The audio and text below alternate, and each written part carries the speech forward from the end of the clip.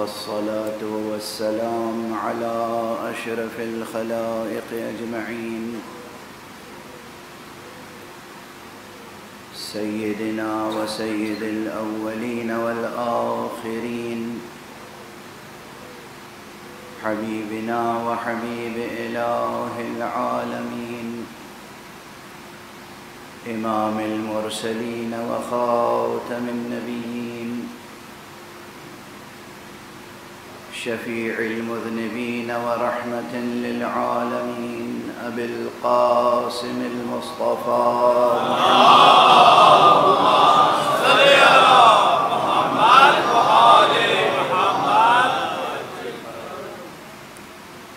وعلى أهل بيته الطيبين الطاهرين الهداة المهديين المعصومين المظلومين. واللعنة الدائمة على أعداء الحق والدين. أما بعد فقد قال الله تعالى عز اسمه في محكم كتابه ومتقن خطابه. بسم الله الرحمن الرحيم. هو الذي أنزل عليك الكتاب. منه آيات محكمات. هن أم الكتاب وأخر متشابهات. صدق الله العلي العظيم. ایک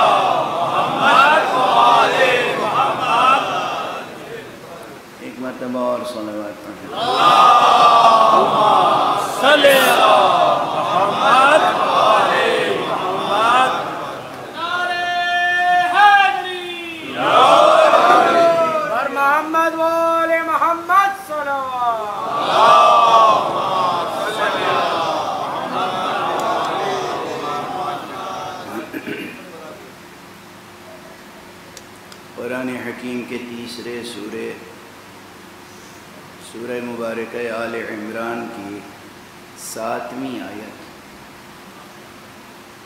جو بجائے خود بہت محتم بشان آیت ہے اور عظیم الشان مباحث علوم قرآن کی حامل ہے۔ آپ حضرات کے سامنے مسلسل تلاوت کر رہا ہوں۔ اور اس آیت کے ضمن میں جملہ مباحث کا عنوان جو اس سلسلہ مجالس میں ہے، وہ ہے امام حسین اور حقائق تعویم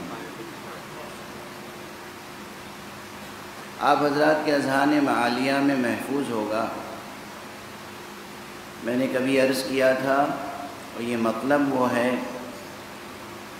جو مقرر عرض کرنے سے تعلق رکھتا ہے۔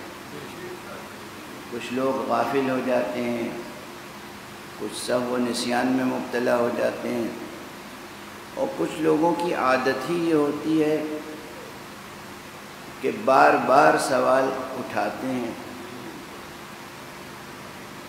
ہر چند کے جواب مل چکا ہوتا ہے۔ یہ ان لوگوں کی کیفیت ہوتی ہے جن کا دماغ تو سمجھ جاتا ہے، دل مطمئن نہیں ہوتا۔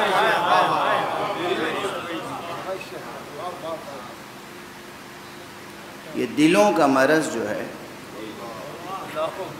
یہ مہلک ہے، مہلک۔ ہلاک کر دیتا ہے انسان۔ اور انسان ابھی متوجہ بھی نہیں ہے کہ ہلاکت کی کتنی قسمیں ہیں۔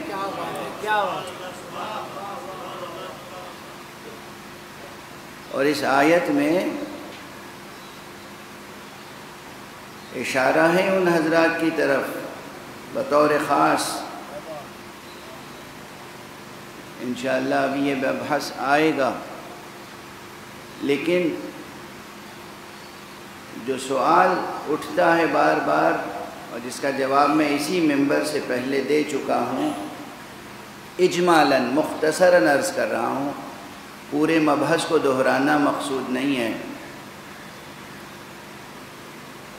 ہمیں تعنہ دیا جاتا ہے کہ ہم اہل تعویل ہیں۔ ہم قرآن مجید کی تعویل کرتے ہیں۔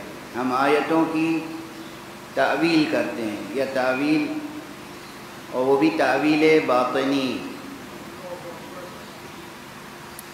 کوئی ہمیں تانا دیتا ہے یہ سمجھ کر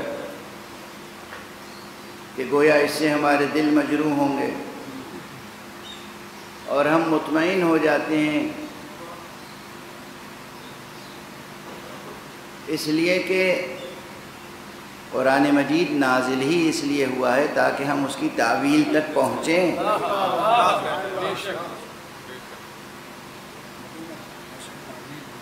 الفاظ کو دہراتے رہنے کے لیے قرآن نہیں نازل ہوا ہے۔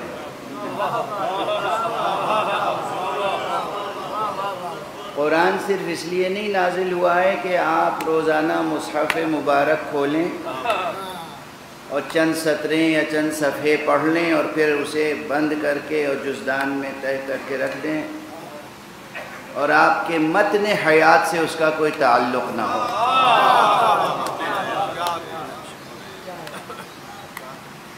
ان الفاظ کا اور ان الفاظ کے اندر موجود معانی کا اور اس پیغام کا ہماری اور آپ کی زندگی سے تعلق ہے۔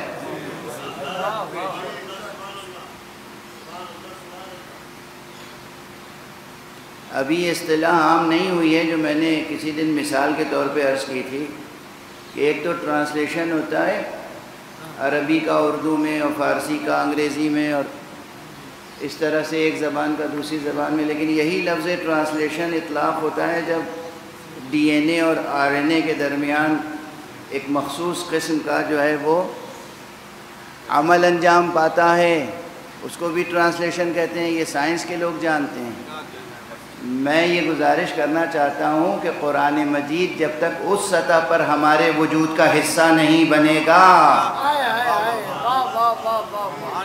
یعنی ہمارے ضمیر میں ہمارے خمیر میں ہمارے وجود میں جب تک قرآن مجید کی تجلی نہیں ہوگی حق تلاوت قرآن ادا نہیں ہو سکتا۔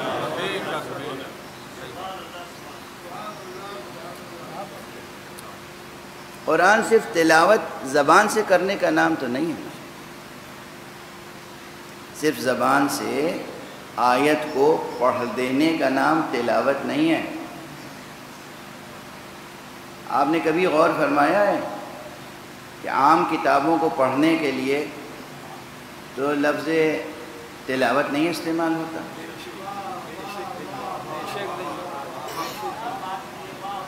کوئی کہتا ہے کہ میں فلاں شاعر کا کے دیوان کی تلاوت کر رہا تھا۔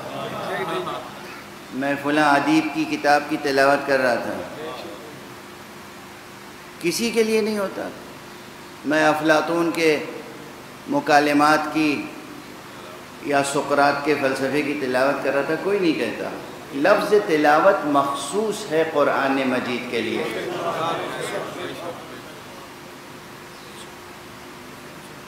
یہ کیوں ہے ایسا؟ اس لیے کہ تلاوت صرف زبان سے الفاظ کو دہرا دینے کا نام نہیں ہے۔ وہ قرأت ہے۔ زبان سے الفاظ کو دہرا دینا قرأت ہے۔ پھر تلاوت کیا ہے؟ اب اسی تلا، تلاوت لفظ نکلا کہاں سے ماشاء اللہ حوضے کے افاظل تشریف فرما ہے اور علوم قرآن اور علوم اسلامیہ میں کام کرنے والے موجود ہیں۔ عربی زبان میں یہ تلاوہ جو لفظ ہے، یہ تلا یتلو سے ہے۔ تلا یتلو۔ اب اس تلا یتلو میں کیا معنی ہے؟ تیزی سے میں یہ بھی ایک متشابہ کو محکم بنانے کا مرحلہ ہے۔ تیزی سے میں عرض کروں، سورہ و شمس تو یاد ہوگا سب کو؟ اور نہ یاد ہو تو یاد کیجیے۔ بہت پربرکت سورہ ہے۔ سورہ وشمس میں کہا گیا، بسم اللہ الرحمن الرحیم۔ والشمس وضحاها والقمر اذا تلاها. یہ لفظ تلا آ گیا نا؟ والقمر اذا تلاها. یہ تلا یتلو وہی سیم سیم روٹ ورڈ اور سیم ورڈ اور سیم ورڈ کی فارم ہیں؟ یہ تلا کے کیا معنی ہے؟ پروردگار فرما رہا ہے، قسم ہے سورج کی اور اس کی پھیلی ہوئی روشنی کی۔ وشم سے و بحا والقمر اذا تلاہا اور اس چاند کی قسم جو اس سورج کے پیچھے پیچھے چلے۔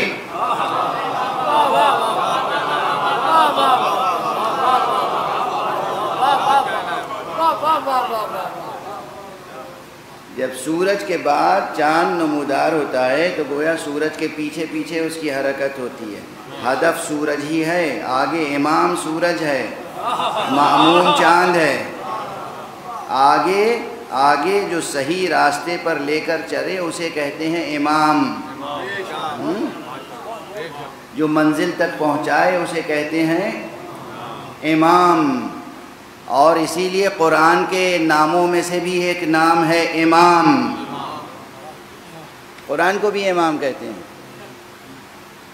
قرآن کے ناموں میں سے بھی ایک نام امام ہے۔ قرآن کا نام قرآن بھی ہے، قرآن کا نام فرقان بھی ہے، قرآن کا نام ذکر بھی ہے، قرآن کا نام کتاب بھی ہے، قرآن کا نام نور بھی ہے، قرآن کا نام امام بھی ہے۔ قرآن امام کیوں ہے؟ اس لیے کہ یہ منزل مقصود تک لے کر آگے پڑھتا ہے۔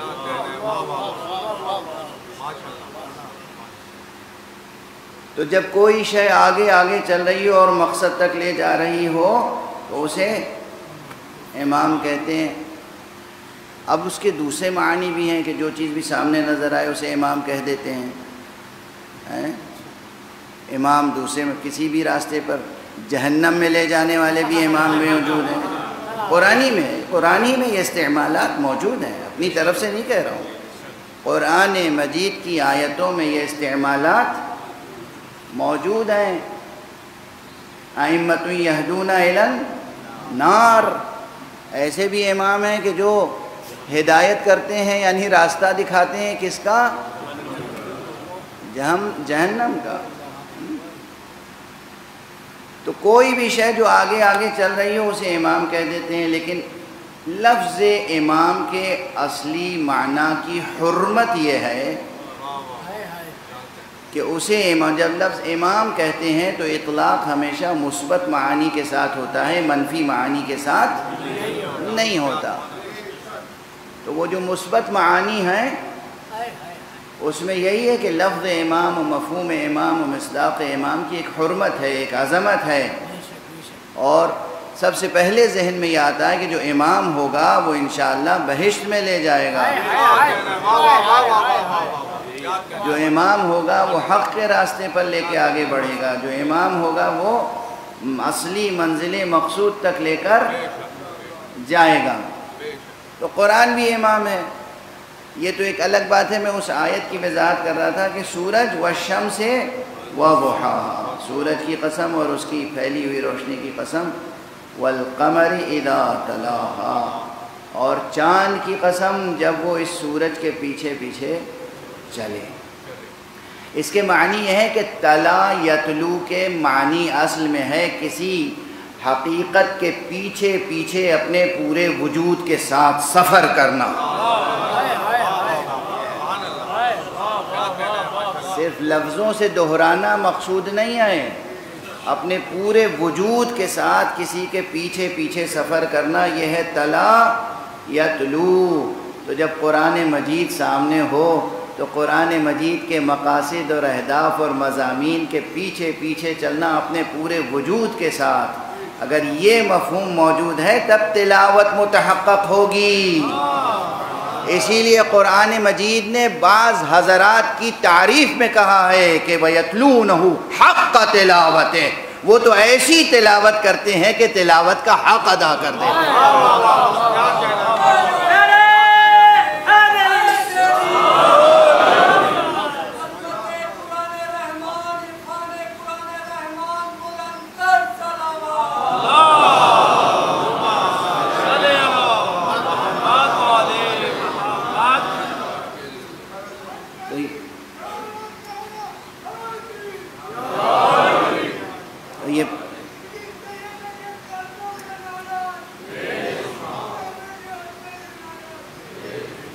بر محمد وال محمد.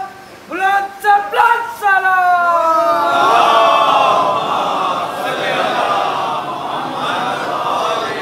اسلامی محمد وال محمد بلند ترین سلام۔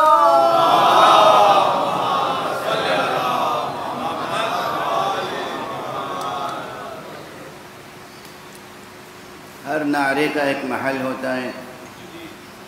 گفتگو کا ایک محل ہوتا ہے۔ اس لیے میری گزارش یہ ہوگی کہ جو مضمون کلام ہے اس کو سمجھنے کی کوشش کریں۔ قرآن مجید کے بارے میں ایک حدیث یہ بھی ہے کہ رب تال للقرآن والقرآن یلعنہ۔ قرآن مجید کی تلاوت کرنے والے ایسے بھی ہیں کہ قرآن ان پر لعنت کرتا ہے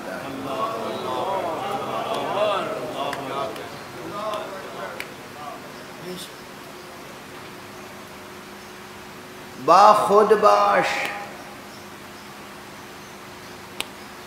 اپنی اپنی فکر کریں۔ ہم میں سے ہر ایک۔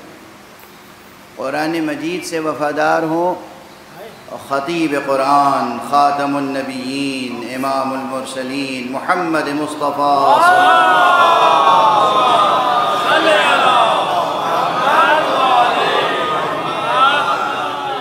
ان سے وفاداری کا حق ادا کریں اور ان کے اہل بیت اور عطرت کے ساتھ مکمل وفاداری اور مواسات کا حق ادا کریں۔ اور یہ صرف زبانی نعروں سے نہیں ہوتا۔ میں ابھی کہہ رہا تھا اپنے پورے وجود کے ساتھ قرآن مجید کی پیروی کریں۔ اپنے پورے وجود کے ساتھ آپ کا خیال تابع مضامین قرآن ہو۔ آپ کے جذبات تابع مضامین احکام قرآنیہ ہوں۔ آپ کا مزاج مزاج قرآن کے سانچے میں ڈھل جائے۔ یہ ہم سے آپ سے مطالبہ ہے۔ معصومین تو ہیں ہی ہیں۔ وہ معصومین یعنی ذات گرامی مصطفیٰ اور وہ جن کو مصطفیٰ صلی اللہ علیہ وآلہ وسلم سے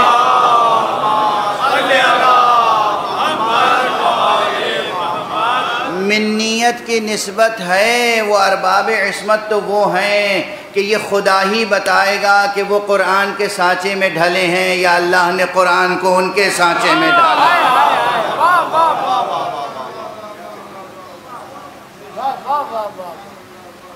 ہو سکتا ہے اس جملے کی بھی کوئی گرفت کر لے بھائی کر لے آزاد ہے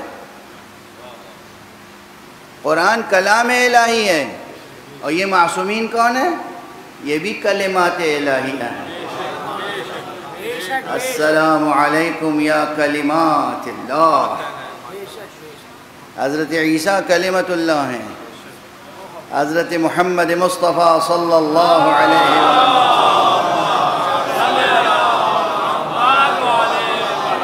خود کلمت اللہ ہیں۔ امیر المومنین علی ابن ابی طالب علیہ السلام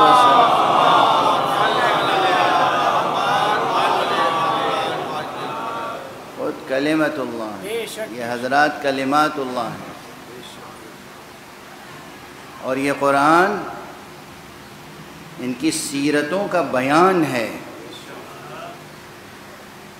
کون کس کے سانچے میں ڈھلا ہے یہ طے کر لینا ہمارے لیے بھی کوئی بہت دشوار نہیں ہے۔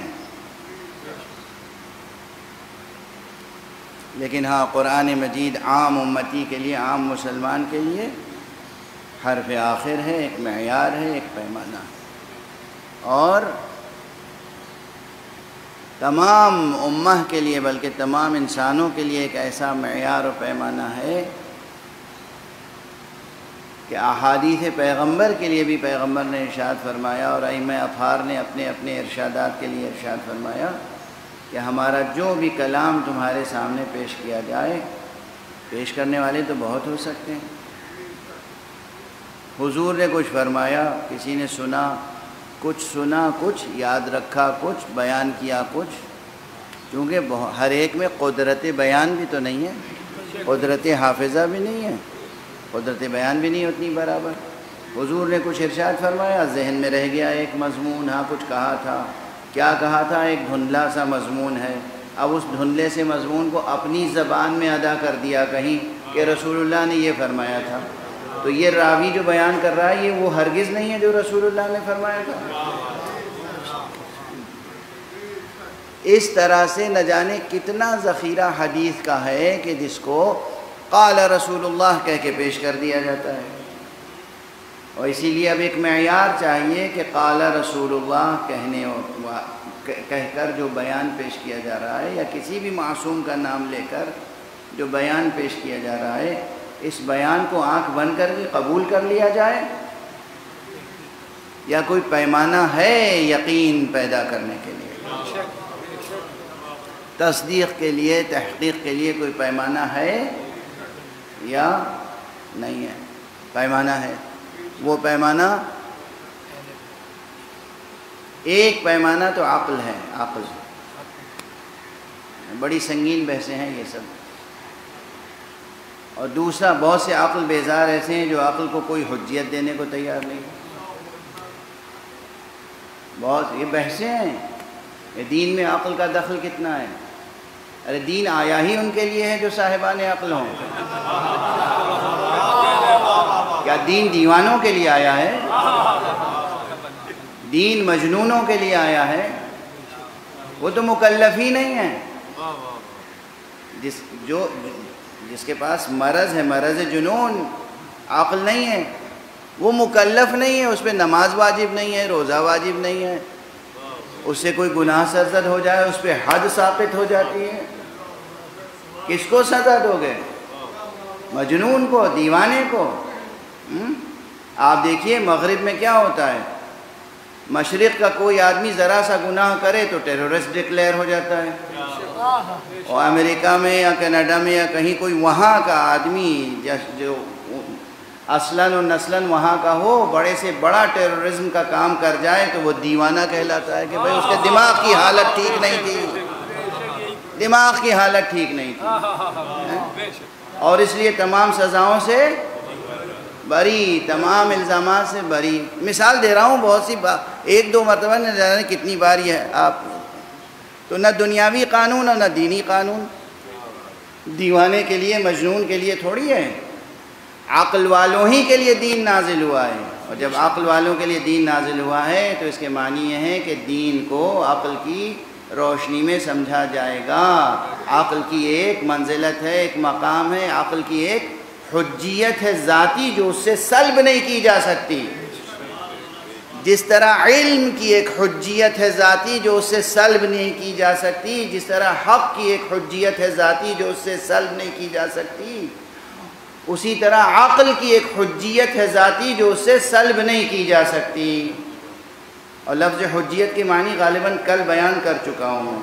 اگر میرا حافظہ غلطی نہیں کر رہا ہے، تو کل کی مجلس میں یہ لفظ حجیت بیان کر چکا ہوں۔ کہ عقل کی حجیت ہے ذاتی، علم کی حجیت ہے ذاتی، اور حق کی حجیت ہے ذاتی۔ بہرحال، یہ تو مثال بات سے بات نکلتی ہے، شاخ در شاخ۔ عرض یہ کر رہا تھا کہ قرآن مجید کی تلاوت کے معنی کیا ہیں؟ اور جب تلاوت کے معنی ہے کہ ہم اپنے پورے وجود کے ساتھ قرآن مجید کی پیروی کریں، تو ہمیں پورا قرآن مجید سمجھ میں آنا چاہیے۔ پھر ہم دیکھتے ہیں کہ قرآن مجید کی کچھ آیتیں بہت آسانی سے سمجھ میں آ جاتی ہیں، جنہیں محکمات کہا گیا۔ اور کچھ آیتیں وہ ہیں جو آسانی سے سمجھ میں نہیں آتی، انہیں متشابہات کہا گیا۔ جب بات آسان ہوتی، اگر انسانوں نے یہ تقسیم کی ہوتی۔ پہلے وہیں سے بتا دیا گیا کہ اس میں کچھ آیتیں محکم ہیں اور کچھ آیتیں متشابہ ہیں۔ اللہ علیم ہے، عالم ہے، علیم ہے۔ اللہ حاکم بھی ہے اور حکیم ہے۔ وہ علیم، وہ حکیم، وہ لطیف، وہ خبیر، وہ سمیع، وہ بصیر۔ اس نے اگر خود ہی قرآن مجید کی آیتوں میں یہ دو اسلوب رکھے ہیں، کچھ کو محکم بنایا، کچھ کو متشابہ بنایا، تو یہ بے سبب نہیں ہے، اس میں حکمتیں ہیں۔ اور سب سے بڑی حکمت یہ ہے کہ خود اس محکم اور متشابہ کے امتیاز میں انسان مومن کے دل کی آزمائش ہے۔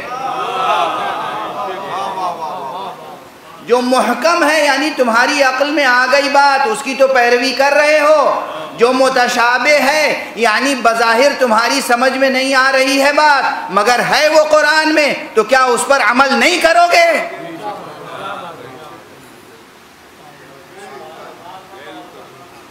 ہاں ہاں وہ آیت ہے، صحیح فرما رہے ہیں مولانا۔ ہاں روایت ہے، صحیح فرما رہے ہیں مولانا، مگر کیوں؟ سبحان اللہ۔ یہ شیطان والا کیوں ہے؟ یہ مومن کی شان نہیں ہے۔ بنس قرآن۔ دل کی آزمائش ایک بڑی حکمت ہے، یہ محکم اور متشابہ میں۔ محکم اور متشابہ میں۔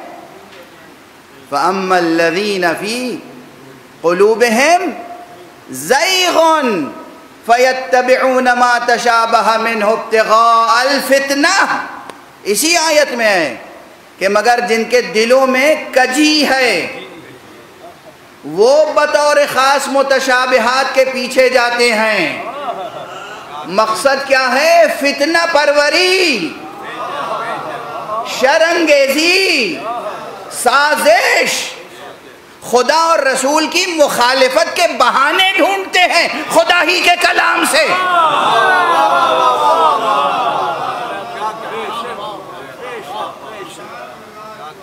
اسی آیت کا ٹکڑا ہے، اسی آیت کا ٹکڑا ہے۔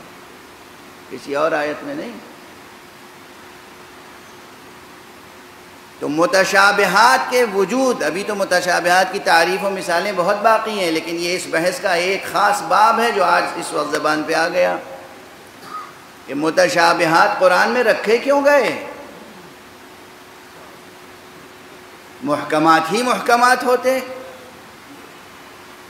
ویسے تو قرآن مجید سے متعلق میں پہلی یا دوسری ہی تقریر میں عرض کر چکا ہوں کہ خود قرآن مجید میں وہ آیتیں بعض آیتوں سے معلوم ہوتا ہے کہ پورا کا پورا قرآن محکم ہے۔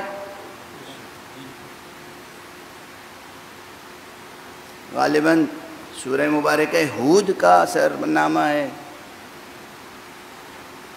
بسم اللہ الرحمن الرحیم۔ الف لام را کتاب احکمت آیاتہ ثم فصلت۔ من لدن حکیم خبیر۔ یہ کتاب وہ ہے کہ جس کی تمام کی تمام آیتیں محکم ہیں۔ یہ ایک جگہ بیان۔ دوسری جگہ، اگر پھر میرا حافظہ غلطی نہیں کر رہا ہے تو سورہ مبارک زمر میں ہے۔ اللہ نزل احسن الحدیث کتابا متشابہہ اللہ نے نازل کی ہے یہ کتاب یہ حدیث، یہ بہترین باتیں اللہ نے نازل کی ہیں۔ ایک ایسی کتاب کی شکل میں کہ جو متشابہ ہے۔ اس کے معنی یہ ہے کہ پوری کی پوری کتاب متشابہ ہے۔ ایک جگہ فرمایا گیا پوری کی پوری کتاب محکم۔ ایک جگہ فرمایا گیا پوری کی پوری کتاب متشابہ۔ ایک جگہ فرمایا گیا کہ اس میں کچھ آیتیں محکم ہیں، کچھ متشابہ۔ کیا یہ تناقض اور تضاد ہے؟ حاشا وکاللہ کوئی تناقض اور تضاد نہیں ہے۔ دیکھنا یہ کہ کہاں کون سا کلمہ کس سیاق و سباق میں استعمال ہوا ہے۔ یہ لفظ آب ہے نا، آب۔ لیکن نا، ایسی مثالیں دیتا چلوں کہ جس سے آپ کا ادبی و عزائی ذوق بھی پروان چڑھتا رہے۔ اردو میں کلمہ استعمال ہوتا ہے، فارسی الاصل ہے۔ فارسی میں آپ کہتے ہیں پانی کو۔ اور اردو میں بھی آپ کہتے ہیں پانی کو، لیکن آپ کے اور بھی معنی ہیں۔ آب کا پہلا معنی، پہلا مصداق پانی ہے، جو پیاس بجھاتا ہے۔ لیکن جب آپ کہتے ہیں آب رو وہاں آپ کے کیا معنی ہے جب آپ کسی نگینے کے لیے کہتے ہیں اس میں بڑی آب ہے، اب یہاں بڑا آب ہے، نہیں کہتے، بڑی آب ہے، بڑی آب و تاب ہے۔ اگر پانی پینے والے پانی کے معنی میں ہے کلمہ آب، تو وہ مذکر استعمال ہوگا، تذکیر کے ساتھ استعمال ہوگا۔ اگر نگینے کی چمک کے معنی میں ہے، تو وہ معنس استعمال ہوگا۔ کسی کی پیاس میں۔ کام آیا تھا عقیق کبھی۔ کسی کی پیاس میں کام آیا تھا عقیق کبھی، ملی ہے آب اسی روز سے نگینوں کو۔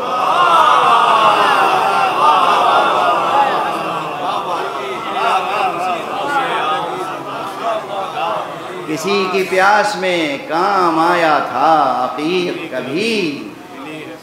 ملی ہے آب اسی روز سے نگینوں کو۔ تو اب یہاں لفظ آب جو ہے، وہ ظاہر ایک خاص معنی میں استعمال ہوا۔ تو وہ جہاں کہا گیا، الف لام را کتاب احکمت آیاتہ ثم فصلت، وہ ایک خاص زاویہ نظر سے بات کہی گئی ہے اور وہ اپنی جگہ بالکل درست ہے۔ وہ جہاں کہا گیا، اللہ الذی، اللہ نزل احسن الحدیث احسن الحدیث، کتابا متشابہا وہاں متشابہ ایک خاص زاویے سے بیان کیا گیا۔ اور یہ جو گفتگو ہے، هو الذي انزل عليك الكتاب منه آیات محکمات، ہن ام الكتاب و اخر متشابہات، یہ الگ ایک زاویے سے گفتگو ہے۔ کہیں قرآن مجید میں کوئی تضاد اور تناقض نہیں ہے۔ اب جو آیتیں متشابہ ہیں، ان کے بہت سے اسرار ہیں، مگر ایک سر الاسرار یہ بھی ہے کہ انسان کے دل کی آزمائش ہے، اس کے ایمان کی آزمائش ہے۔ اسی لیے ذیل آیت میں کیا کہا گیا؟ ذیل آیت میں آیت کے اختتام پر کہا گیا کہ وما يعلم تأويله إلا الله والراسخون في العلم يقولون آمنا به كل من عند ربنا اور اس کی تعویل نہیں جانتا مگر پروردگار اور وہ جو راسخون فی العلم ہیں۔ جو علم میں راسخ ہیں، ان کی کیفیت یہ ہے، ان کی صدائے حال یہ ہے۔ کہ وہ کہتے ہیں، آمنا بہی، ہم تو اس پر ایمان لائے۔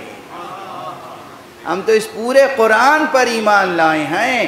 کل من عند ربنا، جو کچھ ہے سب ہمارے رب کی طرف سے ہے۔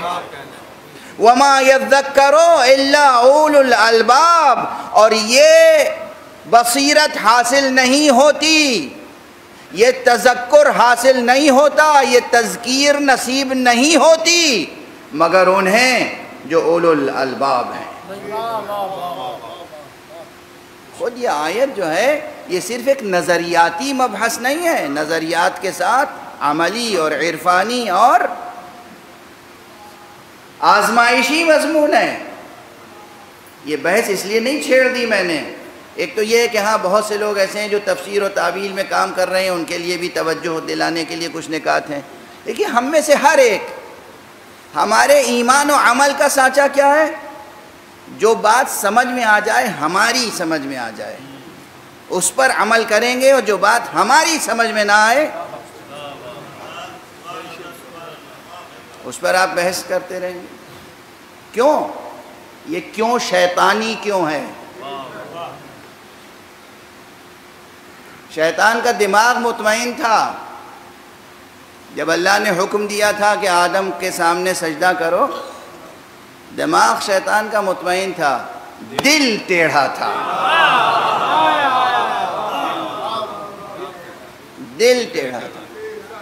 یہ پورے قرآن مجید میں دیکھیے، بہت سی جگہوں پر کہیں کسی مرد کے لیے ڈیڑھ کے ٹیڑھے ہونے کا تذکرہ ہے، کہیں کسی خاتون کے لیے دل کے ٹیڑھے ہونے کا تذکرہ ہے۔ یہ دل کا معاملہ بہت نازک ہے۔ آپس میں بھی دل کا معاملہ نازک ہوتا ہے، خدا کے ساتھ بھی دل کا معاملہ نازک ہے۔ دل کی تربیت بہت بڑی چیز ہے۔ اور خاص طور سے یہ مجالس اعضاء سید الشہداء یہ مدرسہ حسینی یہ مکتب حسینی دل کی تربیت کے لیے دل اور دل کی دل سوزی دل سخت نہ ہو جائے۔ اللہ نے اگر کسی کو نعمتیں دی ہیں تو جو غریب ہیں جو مزدور ہیں جو نادار ہیں جو مفلس ہیں وہ آپ کی نگاہ میں حقیر نہ ہو جائیں۔ اور ان کے لیے آپ کا دل سخت نہ ہو جائے۔ خدا جس جنس کو خریدتا ہے، وہ دل سوزی ہے ہمدردی ہے، مواسات ہے۔ فقیروں کی عزت کرنا سیکھو۔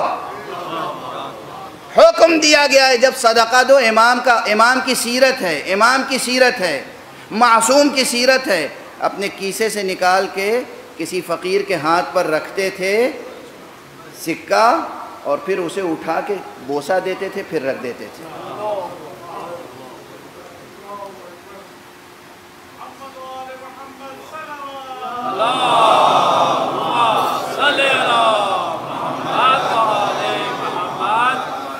کسی فقیر نے ہاتھ بڑھایا، ایک تو یہ کہ اسے جھڑکا نہیں۔ وہ امت سائلہ وہ امت سائلہ قرآن کی آیت پڑھ رہا ہوں وہ امت سائلہ فلا تنہر تم سے کوئی سوال کرے تو اسے دھتکارو نہیں۔ کوئی سوال کرے تو دھتکارو نہیں۔ زجر و توبیخ نہ کرو۔ احترام کرو اس کا۔ احترام کرو اس کا۔ تمہیں کیا معلوم کہ تمہارے سامنے ہاتھ پھیلانے والا خدا کا کون ولی اللہ ہے؟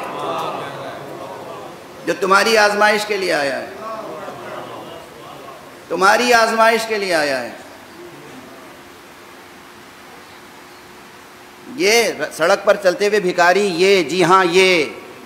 جی ہاں ان کا گینگ ہوتا ہے۔ جی ہاں ان کا ایک کاروبار ہے۔ جی ہاں ان کا سب کچھ ہے۔ ہوگا۔ آپ کا بھی کاروبار ہے نا؟ پانچ روپیہ دینے سے فقیر تو نہیں ہو جائیں گے مفلس تو نہیں ہو جائیں گے اجڑ تو نہیں جائے گی آپ کی سرکار ناداروں کا، مفلسوں کا، فقیروں کا احترام کرو۔ دل میں سختی پیدا نہ ہو۔ دل سوزی کا خریدار پروردگار ہے۔ مولا امیر المؤمنین علی ابن ابی طالب علیہ السلام۔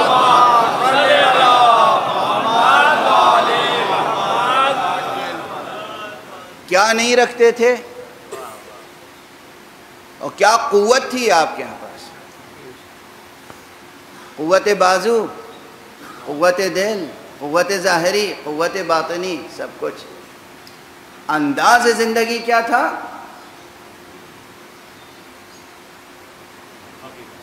رسول، امیر المومنین سے پہلے خود رسول اللہ صلی اللہ علیہ وسلم۔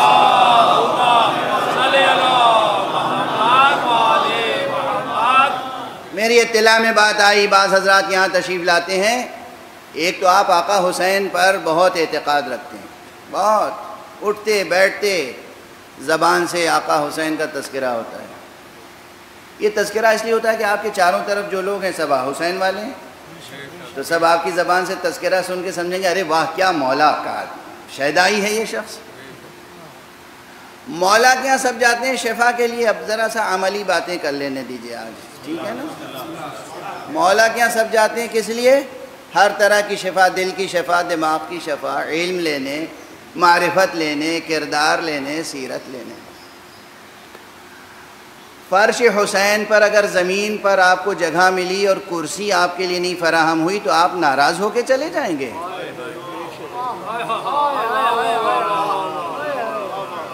یہ عزادار کی شان۔ اس اس مجمع میں، اس مجمع میں۔ میں نے دیکھا ہے اپنی آنکھوں سے سڑک پر، کنارے، ایسی جگہوں پر ایک رومال بچھا کے بیٹھ جاتا ہے ایک بڑا افسر۔ بڑا سرمایہ دار انسان بیٹھ جاتا ہے۔ کیوں؟ یہاں اپنی شان دکھانے کے لیے تھوڑی آیا ہے۔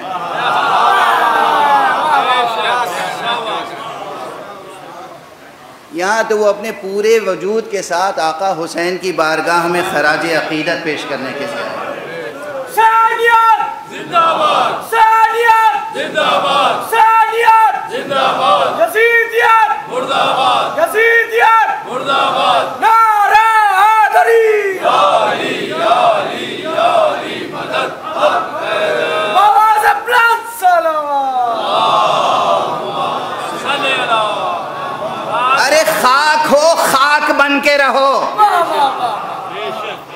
قبر میں تمہارے مسہریاں نہیں بچھائی جائیں گی۔ قبر میں کرسی، میز، اس کا اہتمام نہیں ہوگا۔ کچھ بھی ہو آپ۔ وہ قبر سامنے رکھیے نا۔ سامنے ہے تو سامنے رہے۔ فرش ازا پر کرسی نہیں ملی تو آپ واپس گھر چلے جائیں گے اور وہ بھی کچھ کہتے ہوئے۔ آپ کی شان ہے۔ یہ عزادار ہے، یہ شیعیت ہے، یہ عشق ہے، یہ محبت ہے، یہ بلا ہے۔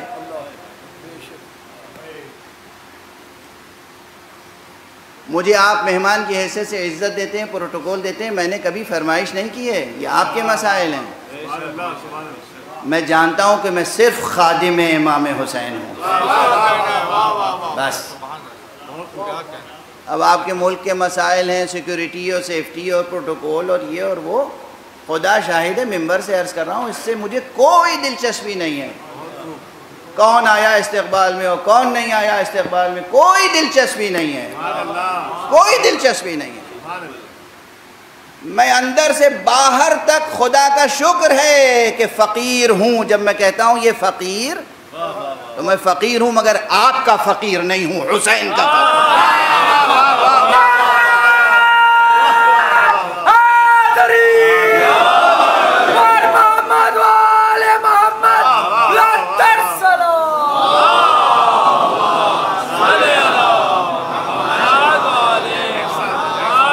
ہم وہ ہیں کہ شاہوں کے تاج ٹھوکروں میں رکھتے ہیں۔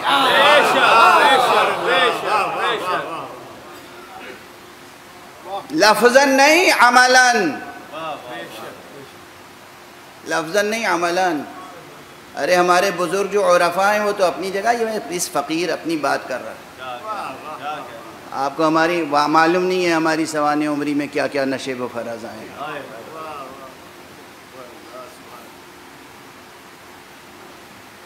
کسی غلط فہمی میں نہ رہیں۔ کسی غلط فہمی میں نہ رہیں۔ جو مجھے عرض کرنا ہے وہ عرض کروں گا۔ ایک صلوات پڑھ دیجیے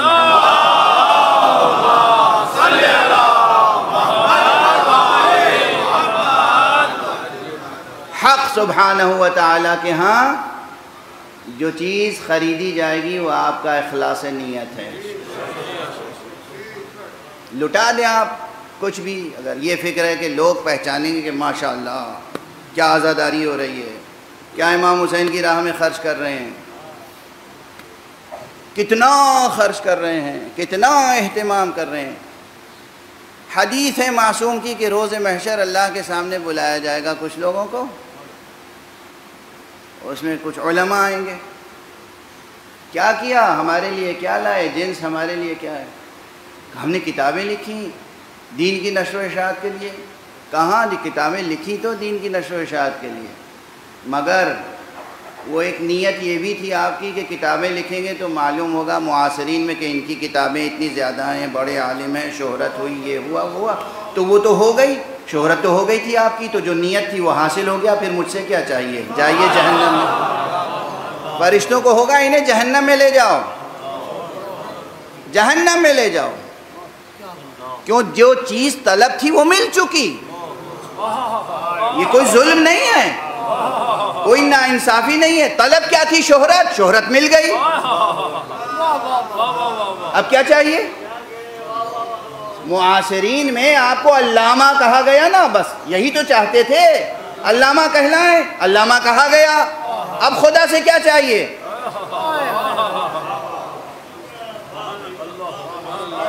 کوئی سرمایہ دار ہو۔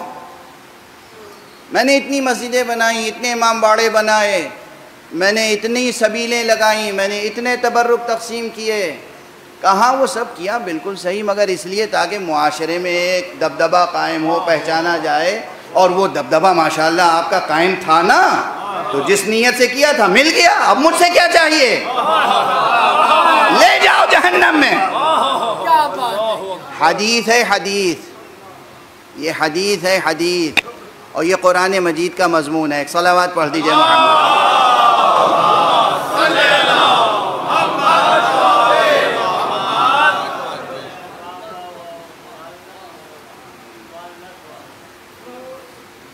اللہ کے ہاں جو چیز طلب ہے، وہ دل سوزی ہے، دل سوزی۔ دلوں کی نرمی، اخلاص نیت، صرف اور صرف اور صرف۔ اور صرف اور صرف خدا کی خاطر۔ جو عمل کیا جائے وہ ہے مقبول بارگاہ خدا۔ آج میرے سینے میں درد ہو گیا ہے اور میں اتنی بھی جو تقریر کر لی ہے کیسے کر لی یہ بس اعجاز ہے۔ انشاءاللہ آپ حضرات ایک صلوات پڑھیں گے تو شاید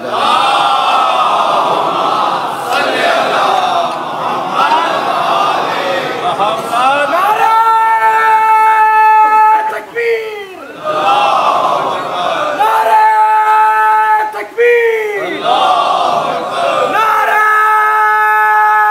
رسالہ نعرہ رسالہ نعرہ حیدری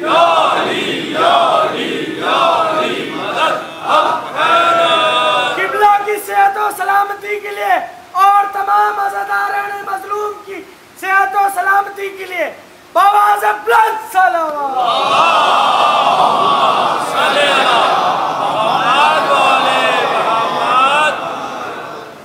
ایک اور صلوات پڑھ دیں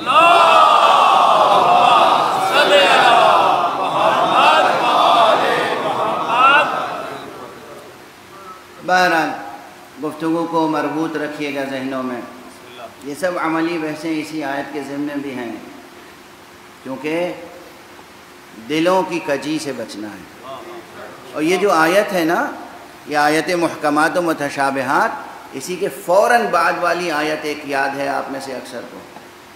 ربنا لا تزغ قلوبنا بعد اذ هديتنا وهب لنا من لدنك رحمة انك انت الوهاب اسی آیت کے بعد ہے فوراً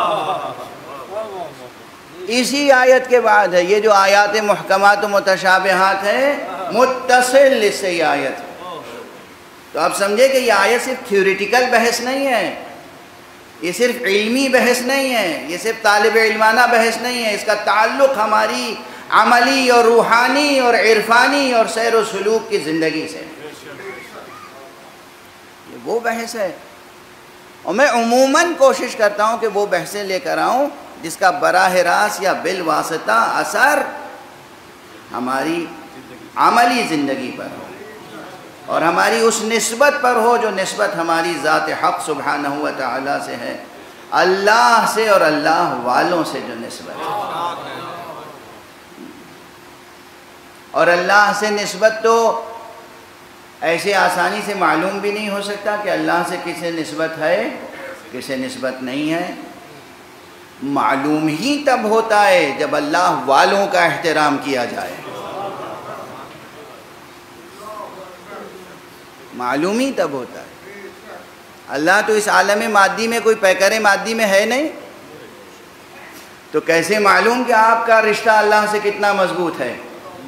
اللہ کے نام پہ کوئی آپ کے سامنے ہاتھ پھیلا دے۔ یہ دیکھتے ہوئے کہ یہ جھوٹ بھی بول سکتا ہے، یہ فریب بھی کر سکتا ہے، یہ دھوکہ بھی دے سکتا ہے، مگر اس آپ نظر اوپر اٹھائیے، اے اللہ، تیرا نام لے کے مانگ رہا ہے۔ کیسے میں توہین کروں تیرے نام کی؟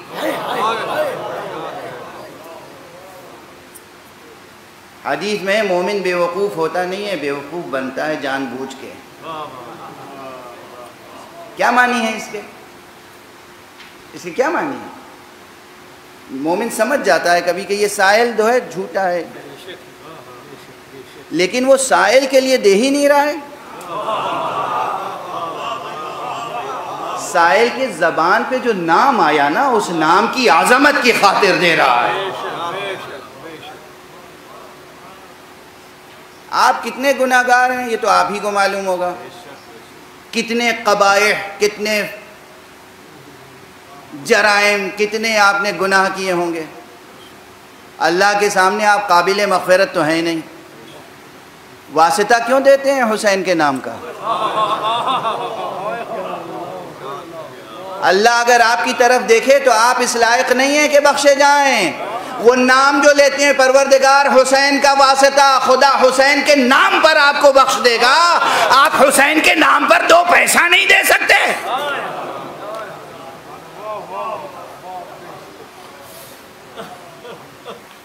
فلسفے بگھارتے ہیں، اقتصادیات کے اور سماجیات کے اور سیاسیات کے۔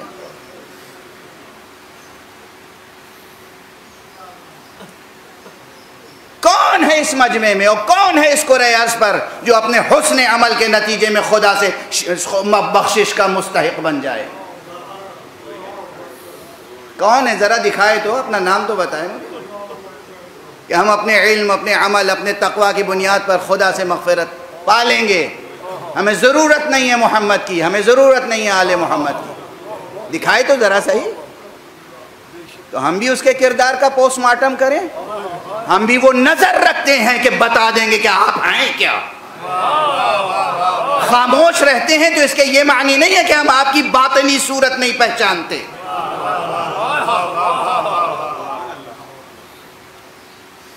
خدا کا خوف کریں، محمد اور آل محمد کی امت میں رہنے کی سعی کریں۔ دلوں کی حفاظت کریں۔ ذہنوں کی تربیت کریں۔ خدا پر یقین رکھیں۔ خدا ایک حقیقت ہے ایلوژن نہیں ہے۔ خدا ایک زندہ حقیقت ہے۔ جو بصیرت رکھتے ہیں، وہ خدا کو دیکھتے ہیں۔ جو بصیرت نہیں رکھتے، ان کی بصارتیں حجاب بن جاتی ہیں۔ یہ جملہ بھی پتہ نہیں کس کی سمجھ میں آئے گا، نہیں آئے گا۔ واہ واہ کرنے کے لیے تو رسمن واہ واہ ہوتی رہتی ہے۔ بصارت ہی حجاب بھی بنتی ہے۔ بصارت ہی حجاب بھی بنتی ہے۔ بصیرت ہے جو بصارت کے حجاب کو برطرف کرتی ہے۔ ہم یہ بھی پہچانتے ہیں کہ رسمن واہ کون کر رہا ہے اور حقیقتاً بات سمجھ میں کتنوں کو آ رہی ہے، یہ سمجھ میں آتی ہے بات۔ آپ ایک صلوات پڑھ دیجیے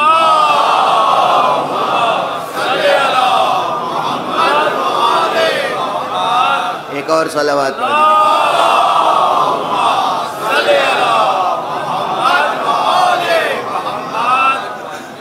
آقا حسین کے فرش ازا پہ آئے ہیں، دلوں کی طہارت کا اہتمام۔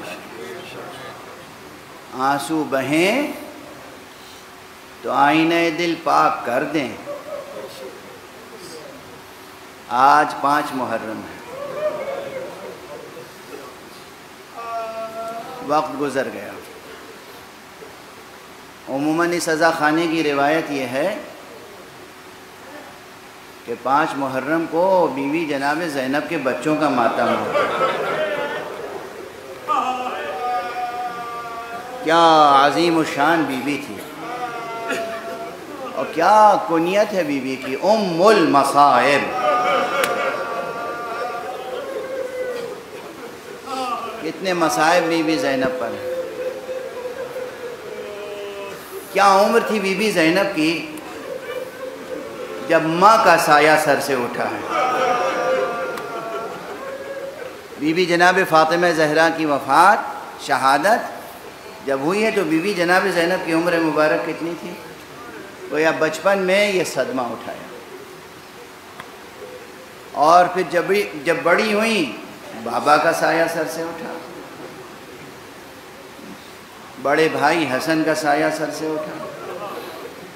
پھر حسین کے ساتھ کربلا آ گئے میں کس کے مسائل پڑھوں؟ بچوں کے پڑھوں یا ماں کے پڑھوں؟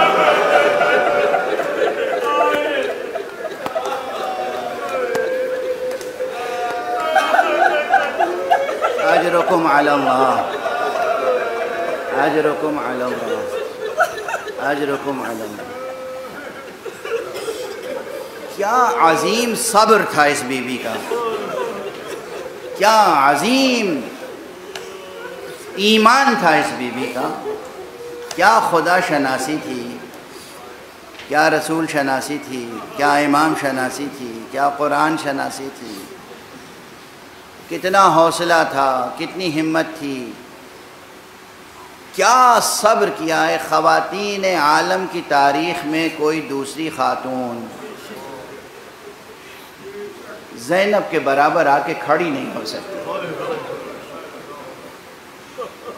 ہاں بہت سی خواتین گزری ہیں، مجھے اگر یاد آ جائے، پورا بند تو شاید نہ یاد آئے، مگر دو تین مصرے بکھرے ہوئے یاد آ جائیں۔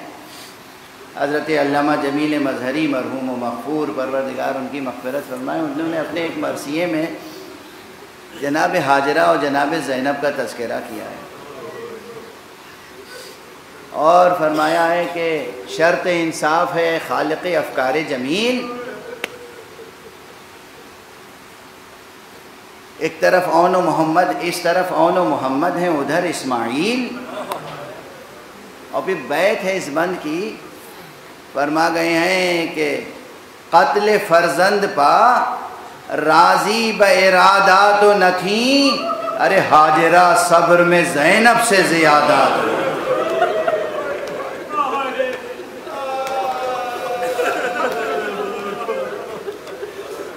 جناب حاجرہ،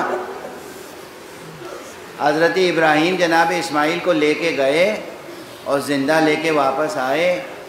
جناب حاجرہ کو ایک ہلکا سا نشان گلوع مبارک پہ نظر آیا۔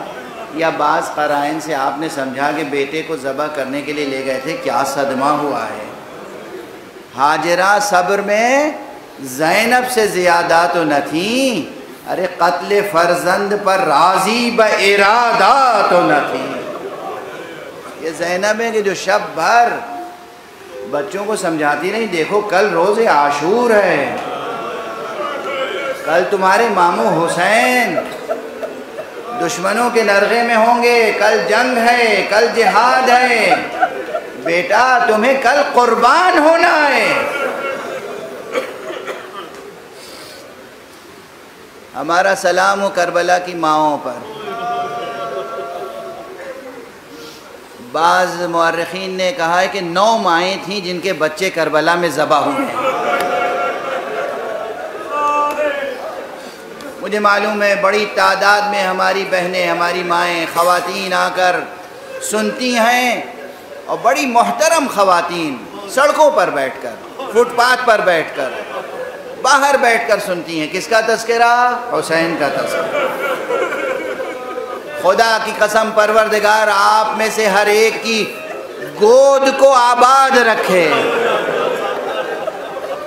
ہماری بہنوں اور ماؤں کی گودیں آباد رہیں اور آپ کے بطن سے آپ کی کوک سے وہ نسل پروان چڑھے جو اہل اللہ اور اولیاء اللہ کی نسل ہو۔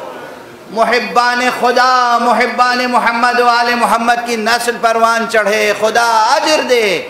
دونوں جہان کی برکتیں، سعادتیں آپ کو عطا فرمائیں۔ کربلا کی ان ماؤں کے صدقے میں جن کی کوکھ اجڑ گئی۔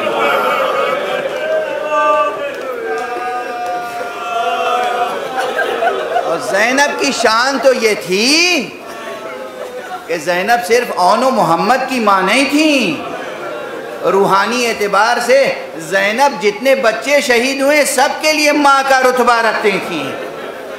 علی اکبر کو بھی زینب نے پالا تھا ماں کی طرح۔ قاسم اور قاسم کے چھوٹے بھائی عبداللہ کو بھی زینب نے پالا تھا ماں کی طرح۔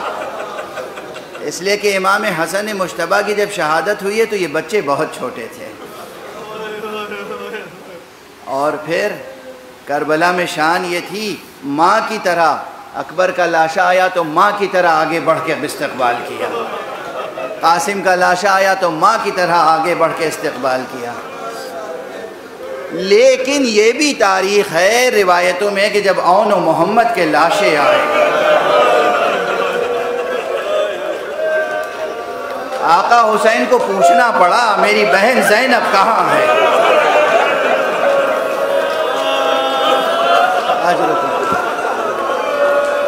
بھائی اکبر آئے تھے تو زینب سامنے تھی، قاسم آئے تھے، زینب یہ اون و محمد کو لے کے آئے۔ زینب کہاں ہے؟ کسی نے کہا سجدہ شکر میں ہے۔ زینب سجدہ کر رہی ہیں۔ آقا حسین نے بچوں کو زمین پہ لیٹایا ایک طرف اون، ایک طرف محمد۔ درمیان میں خود لیٹ گئے، کبھی داہنی طرف مڑے اون کو پیار کیا۔ کبھی بائیں طرف مڑے محمد کو پیار کیا۔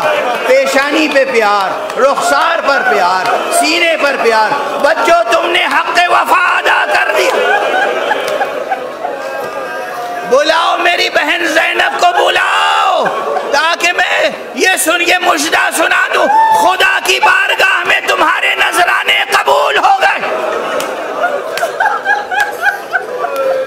سیکھو کربلا سے سیکھو۔ اللہ کی راہ میں کیسے قربانیاں دی جاتی ہیں۔ پروردگار ہماری اس ناچیز عبادت ازا کو قبول فرما معبود، پروردگار ہمارے سینوں میں چراغ توحید روشن رہے۔ پروردگار، ہمارے ہاتھوں میں ہمیشہ دامان ختم نبوت رہے۔ پروردگار، ہمارے قدم ہمیشہ صراط مستقیم ولایت پر گامزن رہے۔ پروردگار، ہمارے سروں پر علماء اعلام کا سایہ برقرار رہے۔ پروردگار، آیت اللہ العظمہ رہبر انقلاب اسلامی آقا خامنی کو اپنی خاص حفظ و امان میں رکھ۔ پروردگار حضرت آیت اللہ العظمہ سیستانی کو اپنے حفظ و امان میں رکھ۔ تمام مراجع تقلید، تمام مرجعیات رشیدہ کی حفاظت فرما۔ اپنے ولی آخر کو اذن ظہور عطا فرما کہ ان کے ہاتھوں سے اپنی رحمت و رافت و عدالت کا پرچم لہرائے۔ ماتم حسین۔ بسم اللہ۔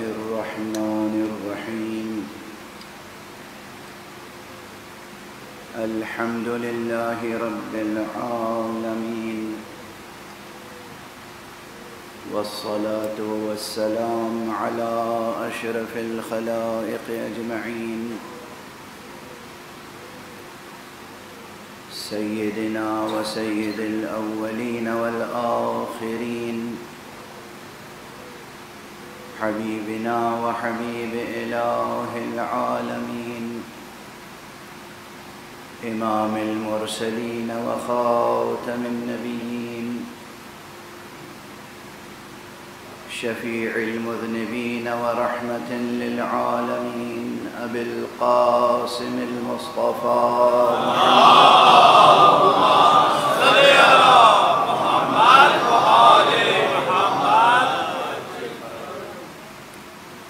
وعلى أهل بيته الطيبين الطاهرين. الهداة المهديين المعصومين المظلومين واللعنة الدائمة على أعداء الحق والدين. أما بعد فقد قال الله تعالى عز اسمه في محكم كتابه ومتقن خطابه. بسم الله الرحمن الرحيم. هو الذي أنزل عليك الكتاب. منه آيات محكمات. هن أم الكتاب وأخر متشابهات. صدق الله العلي العظيم. ایک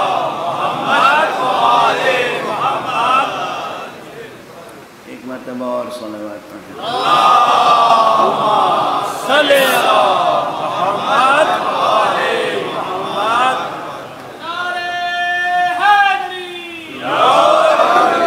اور محمد والے محمد صلوات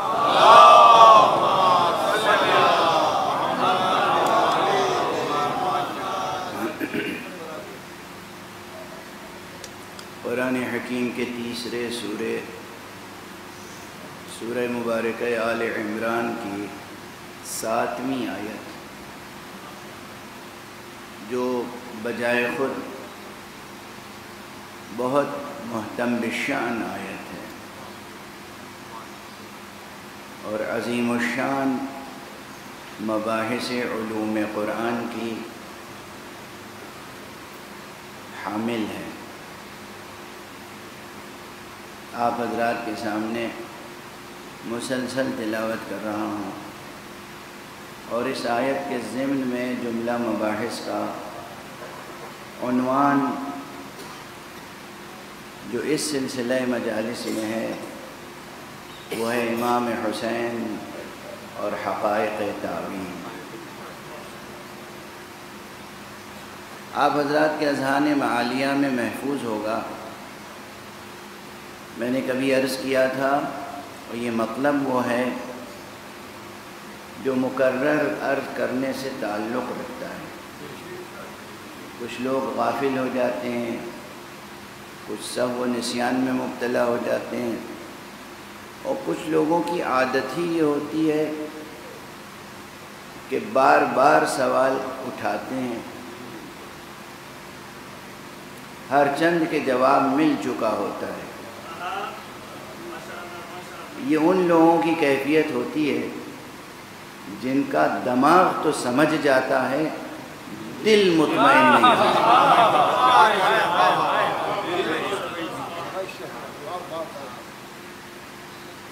یہ دلوں کا مرض جو ہے، یہ مہلک ہے، مہلک۔ ہلاک کر دیتا ہے انسان۔ اور انسان ابھی متوجہ بھی نہیں ہے کہ ہلاکت کی کتنی قسمیں ہیں۔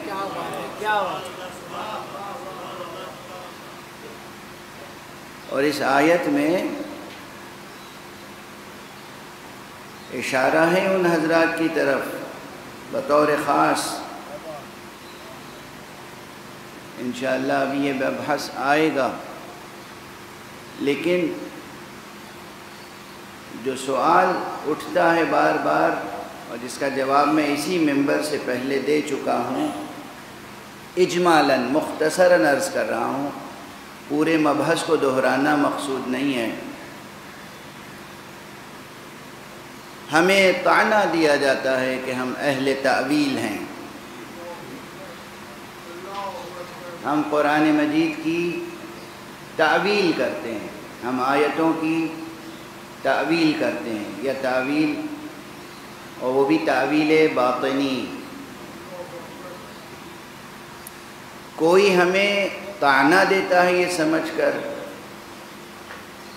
کہ گویا اس سے ہمارے دل مجروح ہوں گے، اور ہم مطمئن ہو جاتے ہیں۔ اس لیے کہ قرآن مجید نازل ہی اس لیے ہوا ہے تاکہ ہم اس کی تعویل تک پہنچیں۔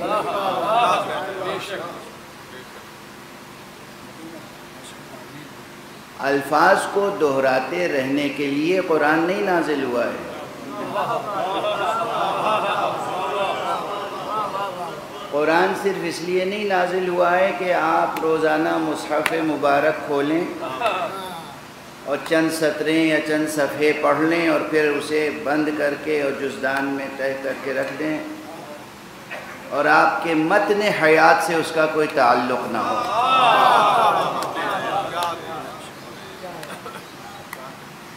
ان الفاظ کا اور ان الفاظ کے اندر موجود معانی کا اور اس پیغام کا ہماری اور آپ کی زندگی سے تعلق ہے۔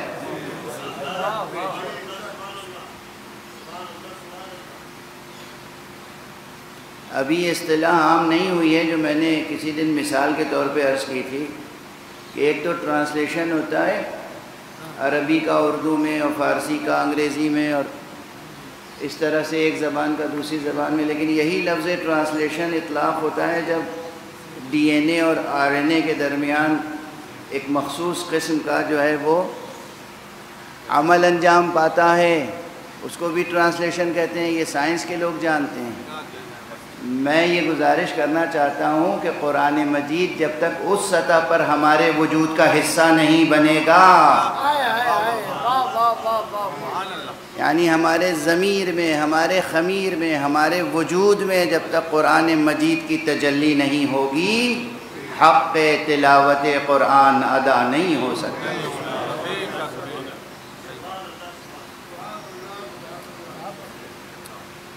قرآن صرف تلاوت زبان سے کرنے کا نام تو نہیں ہے۔ صرف زبان سے آیت کو پڑھ دینے کا نام تلاوت نہیں ہے۔ آپ نے کبھی غور فرمایا ہے کہ عام کتابوں کو پڑھنے کے لیے تو لفظ تلاوت نہیں استعمال ہوتا؟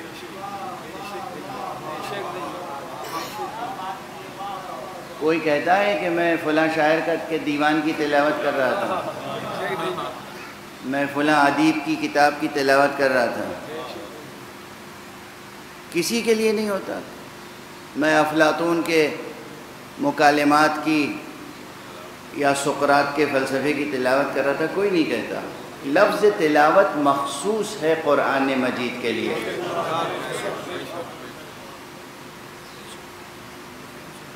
یہ کیوں ہے ایسا؟ اس لیے کہ تلاوت صرف زبان سے الفاظ کو دہرا دینے کا نام نہیں ہے۔ وہ قرأت ہے۔ زبان سے الفاظ کو دہرا دینا قرأت ہے۔ پھر تلاوت کیا ہے؟ اب اسی تلا، تلاوت لفظ نکلا کہاں سے ماشاء اللہ حوضے کے افاظل تشریف فرما ہیں اور علوم قرآن اور علوم اسلامیہ میں کام کرنے والے موجود ہیں۔ عربی زبان میں یہ تلاوہ جو لفظ ہے، یہ تلا یتلو سے ہے۔ تلا یتلو۔ اب اس تلا یتلو میں کیا معنی ہے؟ تیزی سے میں یہ بھی ایک متشابہ کو محکم بنانے کا مرحلہ ہے۔ تیزی سے میں عرض کروں، سورہ وشمس تو یاد ہوگا سب کو۔ اور نہ یاد ہو تو یاد کیجیے۔ بہت پربرکت سورہ ہے۔ سورہ وشمس میں کہا گیا، بسم اللہ الرحمن الرحیم۔ وشمس وضحاها والقمر اذا تلاها. یہ لفظ تلا آ گیا نا؟ والقمر اذا تلاها. یہ تلا یتلو وہی سیم سیم روٹ ورڈ اور سیم ورڈ اور سیم ورڈ کی فارم یہ تلا کے کیا معنی ہے؟ پروردگار فرما رہا ہے، قسم ہے سورج کی اور اس کی پھیلی ہوئی روشنی کی۔ و شم سے و بحا والقمر اذا تلاہا اور اس چاند کی قسم جو اس سورج کے پیچھے پیچھے چلے۔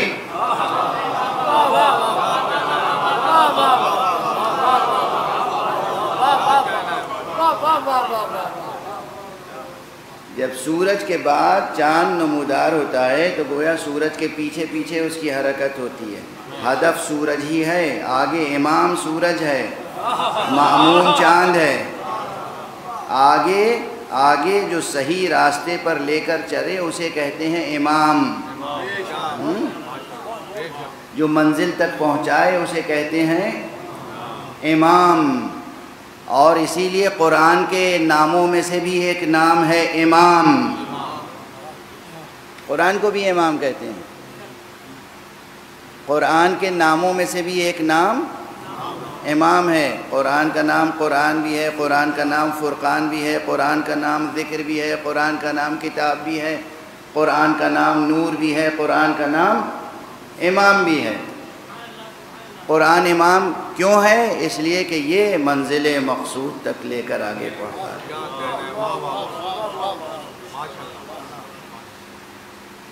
تو جب کوئی شے آگے آگے چل رہی ہو اور مقصد تک لے جا رہی ہو، تو اسے امام کہتے ہیں۔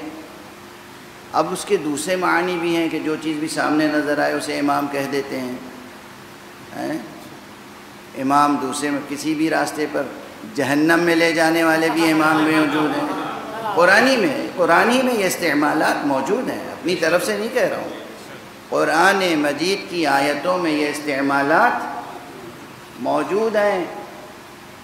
آئمت یہدون علن نار ایسے بھی امام ہیں کہ جو ہدایت کرتے ہیں یعنی راستہ دکھاتے ہیں کس کا؟ جہنم کا۔ تو کوئی بھی شے جو آگے آگے چل رہی ہو اسے امام کہہ دیتے ہیں، لیکن لفظ امام کے اصلی معنی کی حرمت یہ ہے کہ اسے امام، جب لفظ امام کہتے ہیں تو اطلاق ہمیشہ مثبت معانی کے ساتھ ہوتا ہے، منفی معانی کے ساتھ نہیں ہوتا۔ تو وہ جو مثبت معانی ہیں اس میں یہی ہے کہ لفظ امام و مفہوم امام و مصداق امام کی ایک حرمت ہے، ایک عظمت ہے۔ اور سب سے پہلے ذہن میں یہ آتا ہے کہ جو امام ہوگا وہ انشاءاللہ بہشت میں لے جائے گا۔ جو امام ہوگا وہ حق کے راستے پر لے کے آگے بڑھے گا۔ جو امام ہوگا وہ اصلی منزل مقصود تک لے کر جائے گا۔ تو قرآن بھی امام ہے۔ یہ تو ایک الگ بات ہے، میں اس آیت کی وضاحت کر رہا تھا کہ سورج و شم سے و سورج کی قسم اور اس کی پھیلی ہوئی روشنی کی قسم، والقمر اذا تلاہا اور چاند کی قسم جب وہ اس سورج کے پیچھے پیچھے چلے۔ اس کے معنی یہ ہے کہ تلا یتلو کے معنی اصل میں ہے کسی حقیقت کے پیچھے پیچھے اپنے پورے وجود کے ساتھ سفر کرنا۔ صرف لفظوں سے دہرانا مقصود نہیں ہے۔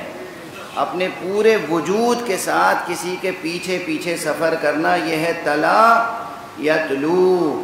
تو جب قرآن مجید سامنے ہو، تو قرآن مجید کے مقاصد اور اہداف اور مضامین کے پیچھے پیچھے چلنا اپنے پورے وجود کے ساتھ۔ اگر یہ مفہوم موجود ہے، تب تلاوت متحقق ہوگی۔ اسی لیے قرآن مجید نے بعض حضرات کی تعریف میں کہا ہے کہ وَيَتْلُونَهُ حق تلاوت وہ تو ایسی تلاوت کرتے ہیں کہ تلاوت کا حق ادا کر دیں تو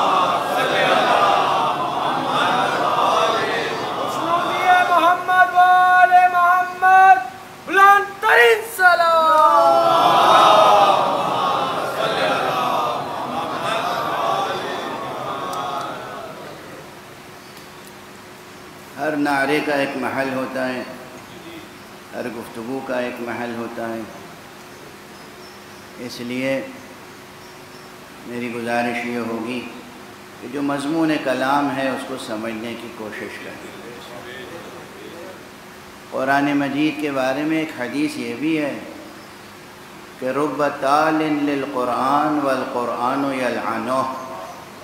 قرآن مجید کی تلاوت کرنے والے ایسے بھی ہیں کہ قرآن ان پر لعنت کرتا ہے۔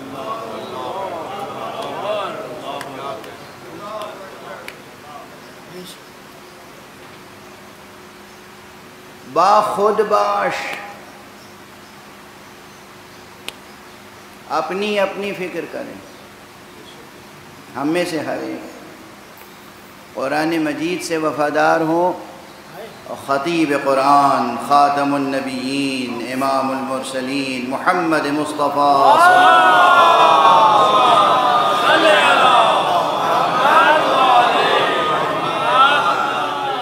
ان سے وفاداری کا حق ادا کریں اور ان کے اہل بیت اور عطرت کے ساتھ مکمل وفاداری اور مواسات کا حق ادا کریں۔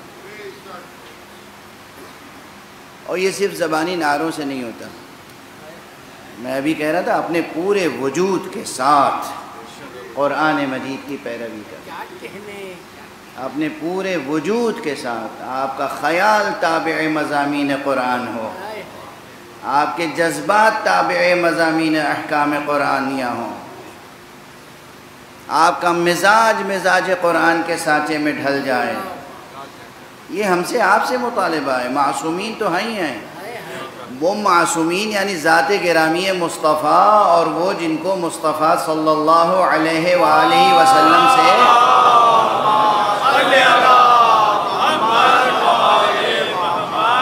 جنیت کی نسبت ہے وہ ارباب عصمت تو وہ ہیں کہ یہ خدا ہی بتائے گا کہ وہ قرآن کے سانچے میں ڈھلے ہیں یا اللہ نے قرآن کو ان کے سانچے میں ڈالا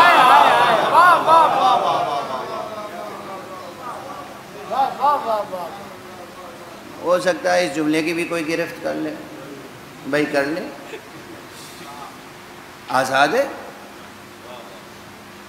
قرآن کلام الہی ہے اور یہ معصومین کون ہیں؟ یہ بھی کلمات الہیہ ہیں۔ السلام علیکم یا کلمات اللہ۔ حضرت عیسیٰ کلمت اللہ ہیں۔ حضرت محمد مصطفیٰ صلی اللہ علیہ وسلم۔ خود کلمت اللہ ہیں۔ امیر المومنین علی ابن ابی طالب علیہ السلام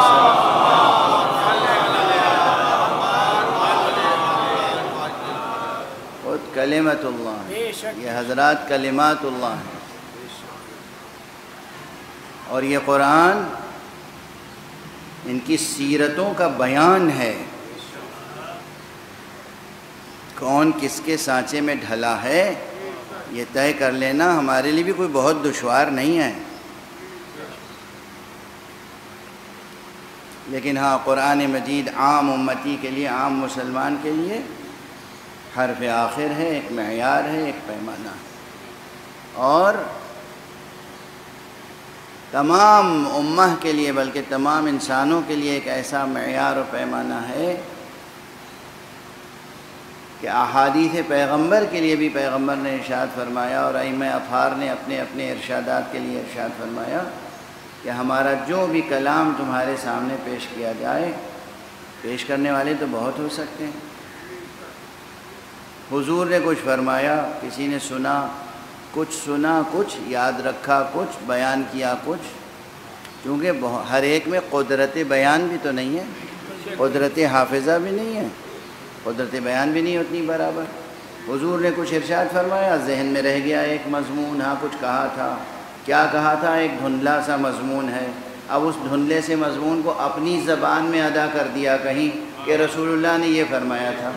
تو یہ راوی جو بیان کر رہا ہے، یہ وہ ہرگز نہیں ہے جو رسول اللہ نے فرمایا تھا۔ اس طرح سے نہ جانے کتنا ذخیرہ حدیث کا ہے کہ جس کو قال رسول اللہ کہہ کے پیش کر دیا جاتا ہے۔ اور اسی لیے اب ایک معیار چاہیے کہ قال رسول اللہ کہنے کہہ کر جو بیان پیش کیا جا رہا ہے یا کسی بھی معصوم کا نام لے کر جو بیان پیش کیا جا رہا ہے اس بیان کو آنکھ بند کر کے قبول کر لیا جائے؟ یا کوئی پیمانہ ہے یقین پیدا کرنے کے لیے؟ تصدیق کے لیے، تحقیق کے لیے کوئی پیمانہ ہے یا نہیں ہے؟ پیمانہ ہے۔ وہ پیمانہ، ایک پیمانہ تو عقل ہے، عقل۔ بڑی سنگین بحثیں ہیں یہ سب۔ اور دوسرا، بہت سے عقل بیزار ایسے ہیں جو عقل کو کوئی حجیت دینے کو تیار نہیں۔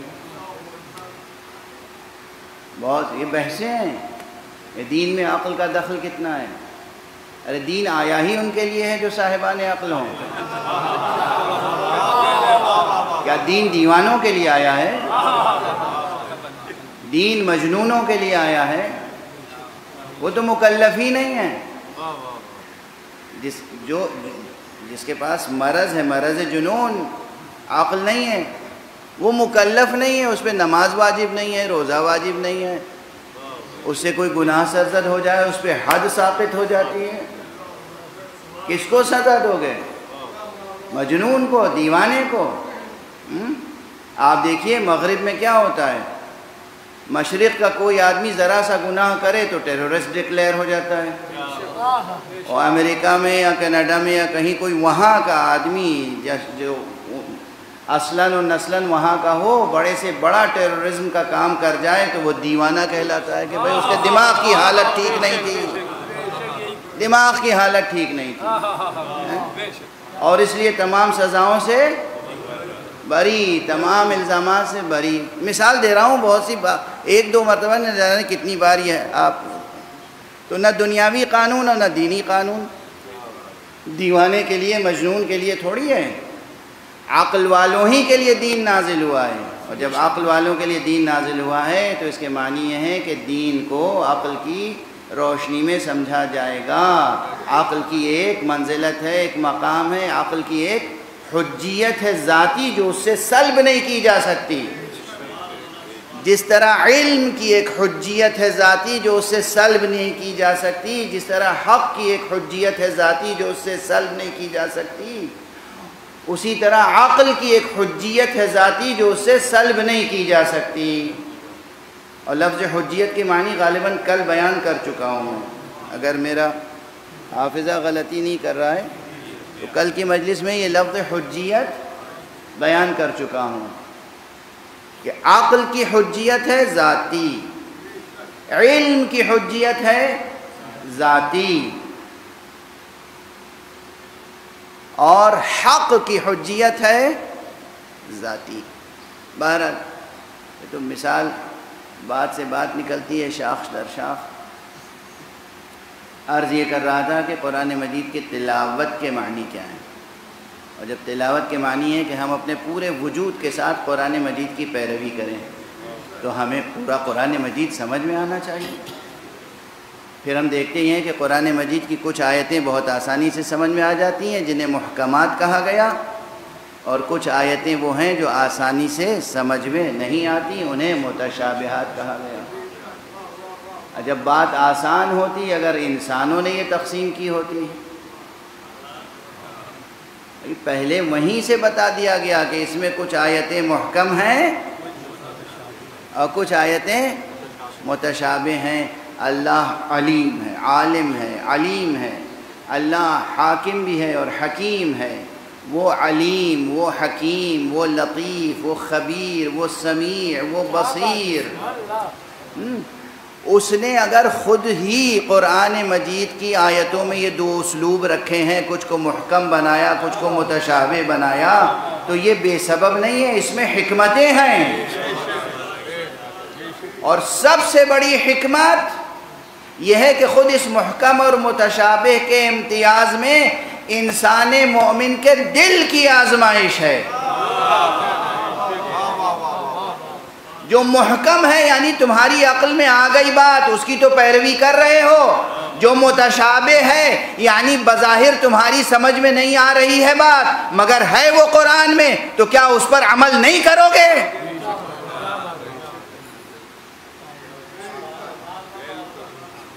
ہاں ہاں وہ آیت ہے، صحیح فرما رہے ہیں مولانا۔ ہاں روایت ہے، صحیح فرما رہے ہیں مولانا، مگر کیوں؟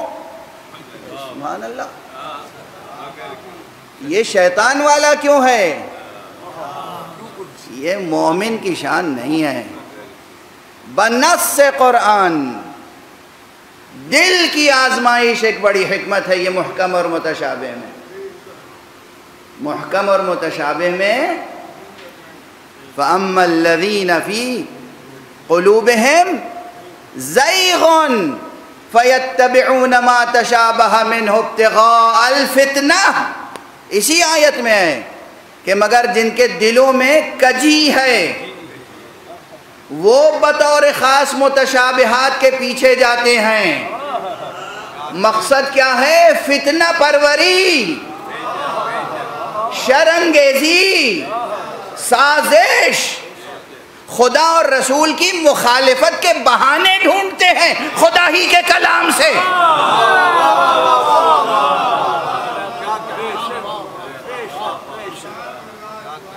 اسی آیت کا ٹکڑا ہے، اسی آیت کا ٹکڑا ہے۔ کسی اور آیت میں نہیں۔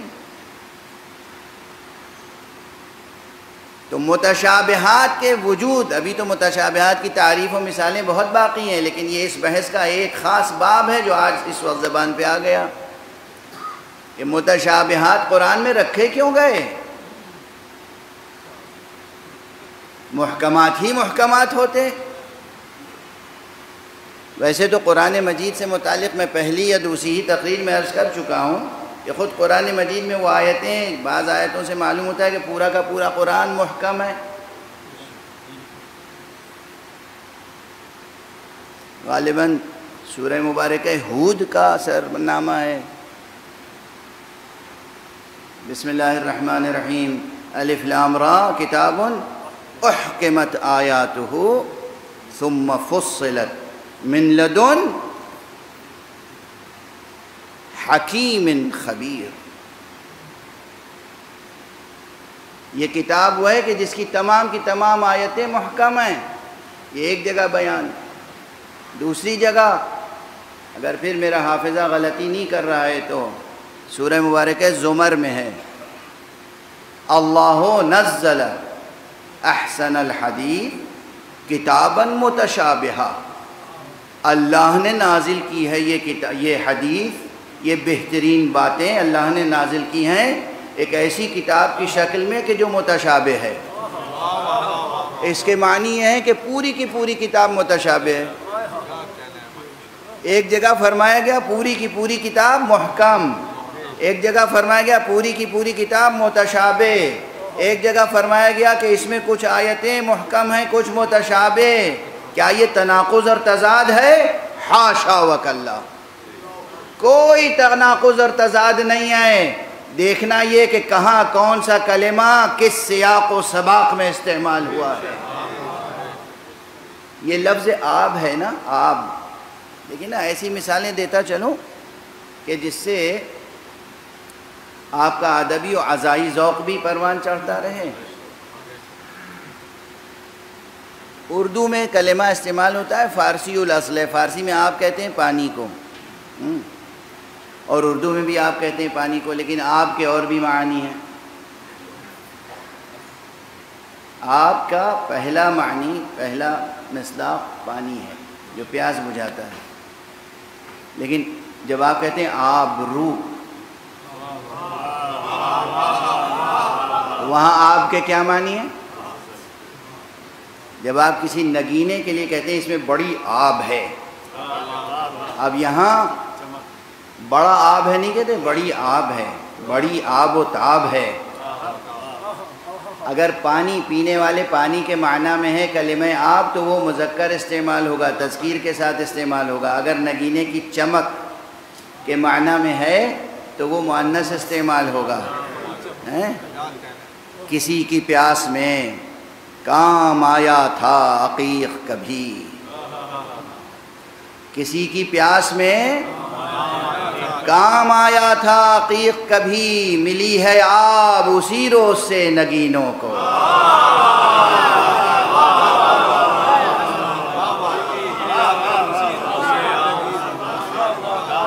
کسی کی پیاس میں کام آیا تھا عقیق کبھی۔ ملی ہے آب، اسی روز سے نگینوں کو۔ تو اب یہاں لفظ آب جو ہے، وہ ظاہر ایک خاص معنی میں استعمال ہوا۔ تو وہ جہاں کہا گیا، الف لام را، کتاب احکمت آیاتہ ثم فصلت وہ ایک خاص زاویہ نظر سے بات کہی گئی ہے اور وہ اپنی جگہ بالکل درست ہے۔ وہ جہاں کہا گیا، اللہ الذی، اللہ نزل احسن الحدیث احسن الحدیث۔ کتابا متشابہا وہاں متشابہ ایک خاص زاویے سے بیان کیا گیا۔ اور یہ جو گفتگو ہے، هو الذي انزل عليك الكتاب منه آیات محکمات، ہن ام الكتاب و اخر متشابہات، یہ الگ ایک زاویے سے گفتگو ہے۔ کہیں قرآن مجید میں کوئی تضاد اور تناقض نہیں ہے۔ اب جو آیتیں متشابہ ہیں، ان کے بہت سے اسرار ہیں۔ مگر ایک سر الاسرار یہ بھی ہے کہ انسان کے دل کی آزمائش ہے۔ اس کے ایمان کی آزمائش ہے۔ اسی لیے ذیل آیت میں کیا کہا گیا؟ ذیل آیت میں آیت کے اختتام پر کہا گیا کہ وما يعلم تأويله إلا الله والراسخون في العلم يقولون آمنا به كل من عند ربنا اور اس کی تعویل نہیں جانتا مگر پروردگار اور وہ جو راسخون فی العلم ہیں۔ جو علم میں راسخ ہیں، ان کی کیفیت یہ ہے، ان کی صدائے حال یہ ہے۔ کہ وہ کہتے ہیں، آمنا بہی، ہم تو اس پر ایمان لائے ہم تو اس پورے قرآن پر ایمان لائے ہیں۔ کل من عند ربنا، جو کچھ ہے سب ہمارے رب کی طرف سے ہے۔ وما يذکرو الا اول الالباب، اور یہ بصیرت حاصل نہیں ہوتی۔ یہ تذکر حاصل نہیں ہوتا، یہ تذکیر نصیب نہیں ہوتی، مگر انہیں جو اول الالباب ہیں۔ خود یہ آیت جو ہے، یہ صرف ایک نظریاتی مبحث نہیں ہے۔ نظریات کے ساتھ عملی اور عرفانی اور آزمائشی مضمون ہے یہ بحث اس لیے نہیں چھیڑ دی میں نے۔ ایک تو یہ ہے کہ ہاں بہت سے لوگ ایسے ہیں جو تفسیر و تعویل میں کام کر رہے ہیں، ان کے لیے بھی توجہ دلانے کے لیے کچھ نکات ہیں۔ دیکھیے، ہم میں سے ہر ایک ہمارے ایمان و عمل کا سانچہ کیا ہے؟ جو بات سمجھ میں آ جائے، ہماری سمجھ میں آ جائے۔ اس پر عمل کریں گے اور جو بات ہماری سمجھ میں نہ آئے، اس پر آپ بحث کرتے رہیں گے۔ کیوں؟ یہ کیوں شیطانی کیوں ہے؟ شیطان کا دماغ مطمئن تھا۔ جب اللہ نے حکم دیا تھا کہ آدم کے سامنے سجدہ کرو، دماغ شیطان کا مطمئن تھا، دل ٹیڑھا تھا۔ دل ٹیڑھا تھا۔ یہ پورے قرآن مجید میں دیکھیے، بہت سی جگہوں پر کہیں کسی مرد کے لیے دل کے ٹیڑھے ہونے کا تذکرہ ہے، کہیں کسی خاتون کے لیے دل کے ٹیڑھے ہونے کا تذکرہ ہے۔ یہ دل کا معاملہ بہت نازک ہے۔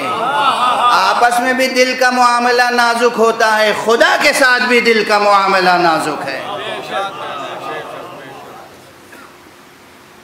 دل کی تربیت بہت بڑی چیز ہے۔ اور خاص طور سے یہ مجالس اعضاء سید الشہداء یہ مدرسہ حسینی یہ مکتب حسینی دل کی تربیت کے لیے دل اور دل کی دل سوزی دل سخت نہ ہو جائے۔ اللہ نے اگر کسی کو نعمتیں دی ہیں تو جو غریب ہیں جو مزدور ہیں جو نادار ہیں جو مفلس ہیں وہ آپ کی نگاہ میں حقیر نہ ہو جائیں۔ اور ان کے لیے آپ کا دل سخت نہ ہو جائے۔ خدا جس جنس کو خریدتا ہے، وہ دل سوزی ہے، ہم دردی ہے، مواسات ہے۔ فقیروں کی عزت کرنا سیکھو۔ حکم دیا گیا ہے، جب صدقہ دو، امام کا، امام کی سیرت ہے، امام کی سیرت ہے، معصوم کی سیرت ہے، اپنے کیسے سے نکال کے کسی فقیر کے ہاتھ پر رکھتے تھے سکہ اور پھر اسے اٹھا کے بوسا دیتے تھے، پھر رکھ دیتے تھے۔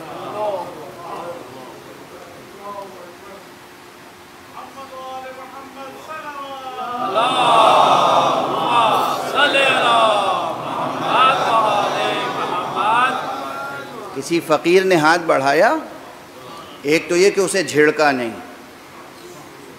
وہ امت سائلہ وہ امت سائلہ قرآن کی آیت پڑھ رہا ہوں وہ امت سائلہ فلا تنہر تم سے کوئی سوال کرے تو اسے دھتکارو نہیں۔ کوئی سوال کرے تو دھتکارو نہیں۔ زجر و توبیخ نہ کرو۔ احترام کرو اس کا۔ احترام کرو اس کا۔ تمہیں کیا معلوم کہ تمہارے سامنے ہاتھ پھیلانے والا خدا کا کون ولی اللہ ہے؟ جو تمہاری آزمائش کے لیے آیا ہے۔ تمہاری آزمائش کے لیے آیا ہے۔ یہ سڑک پر چلتے ہوئے بھکاری یہ جی ہاں یہ۔ جی ہاں ان کا گینگ ہوتا ہے۔ جی ہاں ان کا ایک کاروبار ہے۔ جی ہاں ان کا سب کچھ ہے۔ ہوگا۔ آپ کا بھی کاروبار ہے نا؟ پانچ روپیہ دینے سے فقیر تو نہیں ہو جائیں گے مفلس تو نہیں ہو جائیں گے اجڑ تو نہیں جائے گی آپ کی سرکار ناداروں کا، مفلسوں کا، فقیروں کا احترام کرو۔ دل میں سختی پیدا نہ ہو۔ دل سوزی کا خریدار پروردگار ہے۔ مولا امیر المؤمنین علی ابن ابی طالب علیہ السلام۔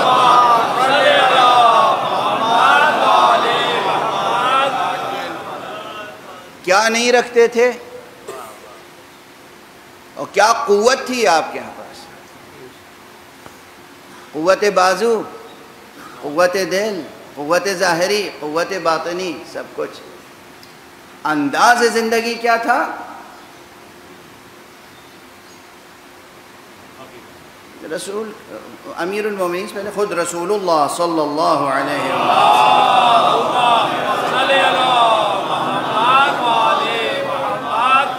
میری اطلاع میں بات آئی، بعض حضرات یہاں تشریف لاتے ہیں۔ ایک تو آپ آقا حسین پر بہت اعتقاد رکھتے ہیں۔ بہت۔ اٹھتے، بیٹھتے، زبان سے آقا حسین کا تذکرہ ہوتا ہے۔ یہ تذکرہ اس لیے ہوتا ہے کہ آپ کے چاروں طرف جو لوگ ہیں سب حسین والے ہیں۔ تو سب آپ کی زبان سے تذکرہ سن کے سمجھیں گے، ارے واہ، کیا مولا کا شہدائی ہے یہ شخص؟ مولا کے یہاں سب جاتے ہیں، شفا کے لیے اب ذرا سا عملی باتیں کر لینے دیجیے آج۔ ٹھیک ہے نا؟ مولا کے یہاں سب جاتے ہیں کس لیے؟ ہر طرح کی شفا، دل کی شفا، دماغ کی شفا، علم لینے، معرفت لینے، کردار لینے، سیرت لینے۔ فرش حسین پر اگر زمین پر آپ کو جگہ ملی اور کرسی آپ کے لیے نہیں فراہم ہوئی تو آپ ناراض ہو کے چلے جائیں گے۔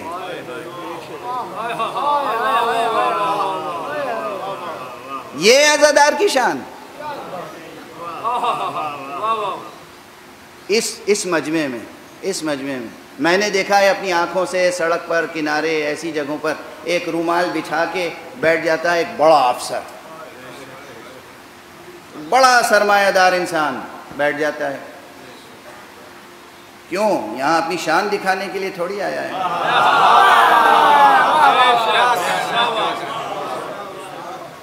یہاں تو وہ اپنے پورے وجود کے ساتھ آقا حسین کی بارگاہ میں خراج عقیدت پیش کرنے کے لیے زندہ باد! سانیت زندہ باد! سانیت زندہ باد! یزیدیت! مرد آباد یزیدیت! مرد آباد نعرہ حیدری یا علی یا علی یا علی مدد آواز بلند صلوات! صلی اللہ ارے خاک ہو خاک بن کے رہو۔ قبر میں تمہارے مسحریاں نہیں بچھائی جائیں گی۔ قبر میں کرسی، میز۔ اس کا اہتمام نہیں ہوگا۔ کچھ بھی ہو آپ۔ وہ قبر سامنے رکھیے نا۔ سامنے ہے تو سامنے رہے۔ فرش اعضا پر کرسی نہیں ملی تو آپ واپس گھر چلے جائیں گے اور وہ بھی کچھ کہتے ہوئے۔ آپ کی شان ہے۔ یہ عزادار ہے، یہ شیعیت ہے، یہ عشق ہے، یہ محبت ہے، یہ بلا ہے۔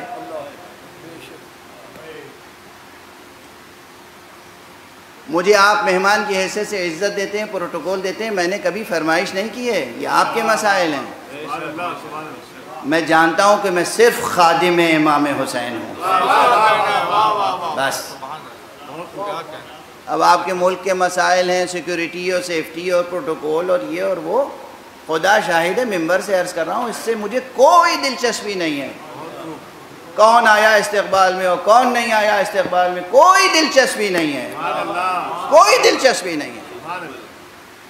میں اندر سے باہر تک خدا کا شکر ہے کہ فقیر ہوں۔ جب میں کہتا ہوں یہ فقیر، تو میں فقیر ہوں مگر آپ کا فقیر نہیں ہوں، حسین کا فقیر حاضری اور محمد وآل محمد لا ترسلو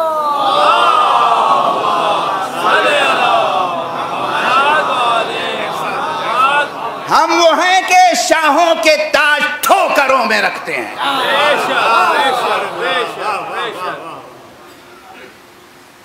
لفظ نہیں، عملاً۔ لفظ نہیں، عملاً۔ ارے، ہمارے بزرگ جو عرفا ہیں، وہ تو اپنی جگہ یہ اس فقیر اپنی بات کر رہا ہے۔ آپ کو ہماری، معلوم نہیں ہے ہماری سوانح عمری میں کیا کیا نشیب و فراز آئے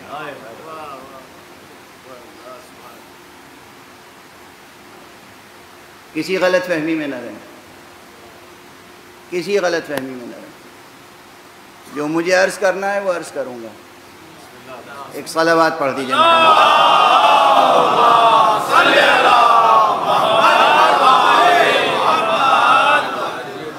حق سبحانہ و تعالیٰ کے ہاں جو چیز خریدی جائے گی وہ آپ کا اخلاص نیت ہے۔ لٹا دیں آپ۔ کچھ بھی اگر یہ فکر ہے کہ لوگ پہچانیں گے کہ ماشاءاللہ کیا آزاداری ہو رہی ہے، کیا امام حسین کی راہ میں خرچ کر رہے ہیں؟ کتنا خرچ کر رہے ہیں، کتنا اہتمام کر رہے ہیں؟ حدیث ہے معصوم کی کہ روز محشر اللہ کے سامنے بلایا جائے گا کچھ لوگوں کو؟ اس میں کچھ علماء آئیں گے۔ کیا کیا ہمارے لیے کیا لائے، جنس ہمارے لیے کیا ہے؟ ہم نے کتابیں لکھی دین کی نشر و اشاعت کے لیے۔ کہاں کتابیں لکھی تو دین کی نشر و اشاعت کے لیے۔ مگر وہ ایک نیت یہ بھی تھی آپ کی کہ کتابیں لکھیں گے تو معلوم ہوگا معاصرین میں کہ ان کی کتابیں اتنی زیادہ ہیں، بڑے عالم ہیں، شہرت ہوئی، یہ ہوا ہوا۔ تو وہ تو ہو گئی، شہرت تو ہو گئی تھی آپ کی، تو جو نیت تھی وہ حاصل ہو گیا، پھر مجھ سے کیا چاہیے؟ جائیے جہنم میں۔ فرشتوں کو ہوگا، انہیں جہنم میں لے جاؤ۔ جہنم میں لے جاؤ۔ کیوں جو چیز طلب تھی وہ مل چکی؟ یہ کوئی ظلم نہیں ہے۔ کوئی نا انصافی نہیں ہے۔ طلب کیا تھی شہرت؟ شہرت مل گئی۔ اب کیا چاہیے؟ معاصرین میں آپ کو علامہ کہا گیا نا، بس یہی تو چاہتے تھے۔ علامہ کہلائیں، علامہ کہا گیا۔ اب خدا سے کیا چاہیے؟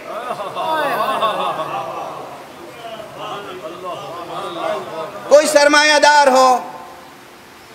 میں نے اتنی مسجدیں بنائی اتنے امام باڑے بنائے میں نے اتنی سبیلیں لگائیں میں نے اتنے تبرک تقسیم کیے۔ کہاں وہ سب کیا؟ بالکل صحیح مگر اس لیے تاکہ معاشرے میں ایک دبدبہ قائم ہو پہچانا جائے۔ اور وہ دبدبہ ماشاءاللہ آپ کا قائم تھا نا؟ تو جس نیت سے کیا تھا؟ مل گیا۔ اب مجھ سے کیا چاہیے؟ لے جاؤ جہنم میں۔ حدیث ہے حدیث۔ یہ حدیث ہے حدیث اور یہ قرآن مجید کا مضمون ہے۔ ایک صلوات پڑھ دیجیے محمد۔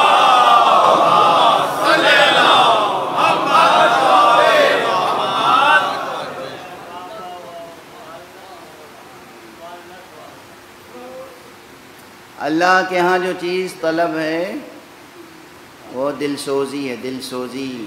دلوں کی نرمی، اخلاص نیت، صرف اور صرف اور صرف۔ اور صرف اور صرف خدا کی خاطر۔ جو عمل کیا جائے وہ ہے مقبول بارگاہ خدا۔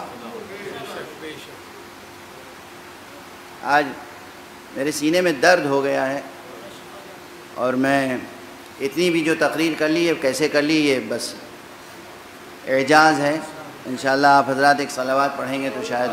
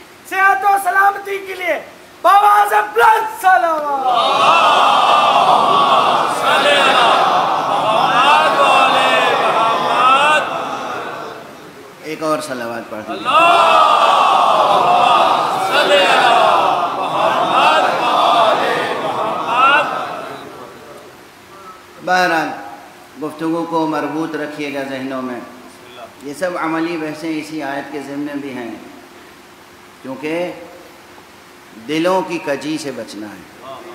اور یہ جو آیت ہے نا، یہ آیت محکمات و متشابہات، اسی کے فوراً بعد والی آیت ایک یاد ہے آپ میں سے اکثر کو۔ ربنا لا تزغ قلوبنا بعد اذ هديتنا وهب لنا من لدنك رحمه انك انت الوهاب اسی آیت کے بعد ہے فوراً۔ اسی آیت کے بعد ہے، یہ جو آیات محکمات و متشابہات ہیں، متصل اس سے یہ آیت تو آپ سمجھے کہ یہ آیت صرف تھیوریٹیکل بحث نہیں ہے، یہ صرف علمی بحث نہیں ہے، یہ صرف طالب علمانہ بحث نہیں ہے۔ اس کا تعلق ہماری عملی اور روحانی اور عرفانی اور سیر و سلوک کی زندگی سے یہ وہ بحث ہے۔ اور میں عموماً کوشش کرتا ہوں کہ وہ بحثیں لے کر آؤں۔ جس کا براہ راست یا بالواسطہ اثر ہماری عملی زندگی پر ہو اور ہماری اس نسبت پر ہو جو نسبت ہماری ذات حق سبحانہ وتعالی سے ہے، اللہ سے اور اللہ والوں سے جو نسبت ہے۔ اور اللہ سے نسبت تو ایسے آسانی سے معلوم بھی نہیں ہو سکتا کہ اللہ سے کسے نسبت ہے، کسے نسبت نہیں ہے۔ معلوم ہی تب ہوتا ہے جب اللہ والوں کا احترام کیا جائے۔ معلوم ہی تب ہوتا ہے۔ اللہ تو اس عالم مادی میں کوئی پیکر مادی میں ہے نہیں۔ تو کیسے معلوم کہ آپ کا رشتہ اللہ سے کتنا مضبوط ہے؟ اللہ کے نام پہ کوئی آپ کے سامنے ہاتھ پھیلا دے۔ یہ دیکھتے ہوئے کہ یہ جھوٹ بھی بول سکتا ہے، یہ فریب بھی کر سکتا ہے، یہ دھوکہ بھی دے سکتا ہے، مگر اس آپ نظر اوپر اٹھائیے، اے اللہ، تیرا نام لے کے مانگ رہا ہے، کیسے میں توہین کروں تیرے نام کی؟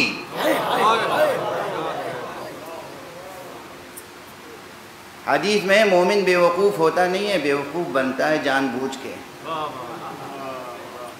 کیا معنی ہے اس کے؟ اس کی کیا معنی ہے؟ مومن سمجھ جاتا ہے کبھی کہ یہ سائل دو ہے جھوٹا ہے۔ لیکن وہ سائل کے لیے دے ہی نہیں رہا ہے۔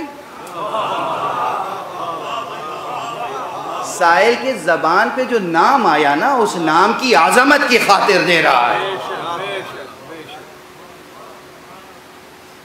آپ کتنے گناہگار ہیں، یہ تو آپ ہی کو معلوم ہوگا۔ کتنے قبائح، کتنے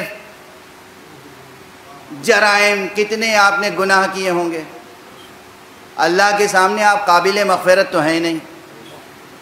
واسطہ کیوں دیتے ہیں حسین کے نام کا؟ اللہ اگر آپ کی طرف دیکھے تو آپ اس لائق نہیں ہیں کہ بخشے جائیں۔ وہ نام جو لیتے ہیں پروردگار، حسین کا واسطہ، خدا حسین کے نام پر آپ کو بخش دے گا۔ آپ حسین کے نام پر دو پیسہ نہیں دے سکتے۔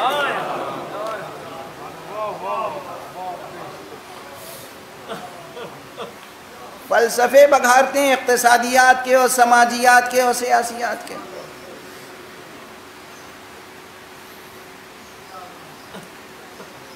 کون ہے اس مجمع میں اور کون ہے اس کو ریاض پر جو اپنے حسن عمل کے نتیجے میں خدا سے بخشش کا مستحق بن جائے؟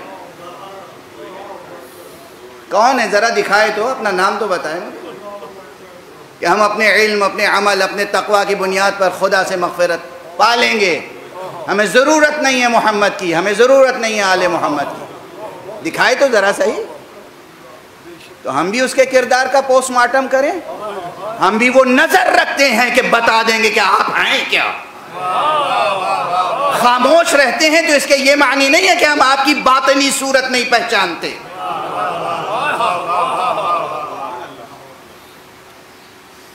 خدا کا خوف کریں۔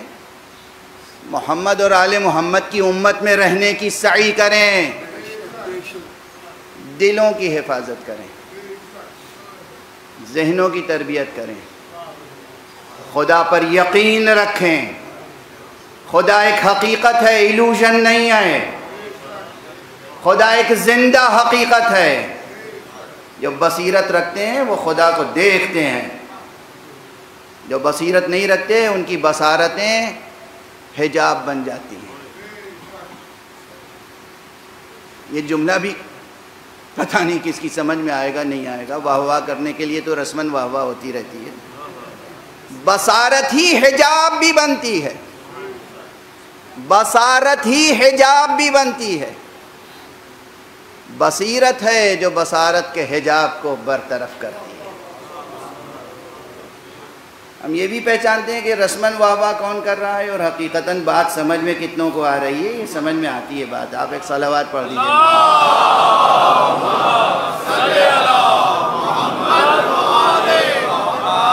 ایک اور صلوات پڑھ دیجیے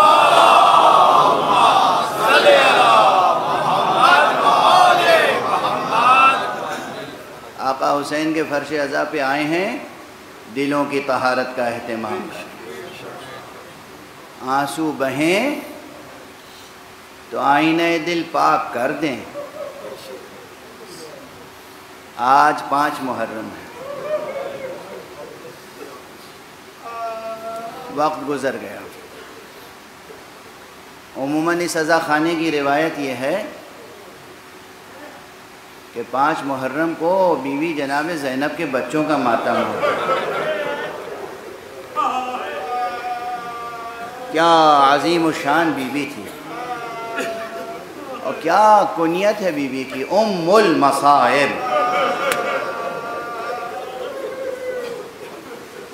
کتنے مصائب بیوی زینب پر ہیں۔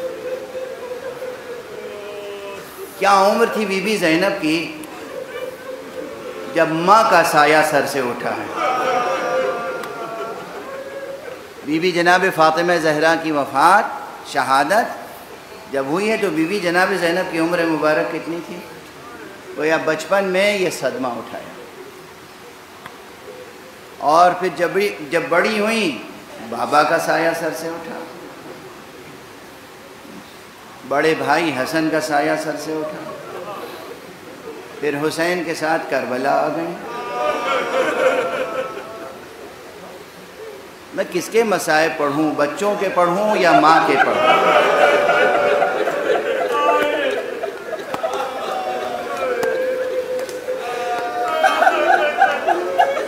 اجرکم علی اللہ اجرکم علی اللہ اجرکم علی اللہ کیا عظیم صبر تھا اس بی بی کا؟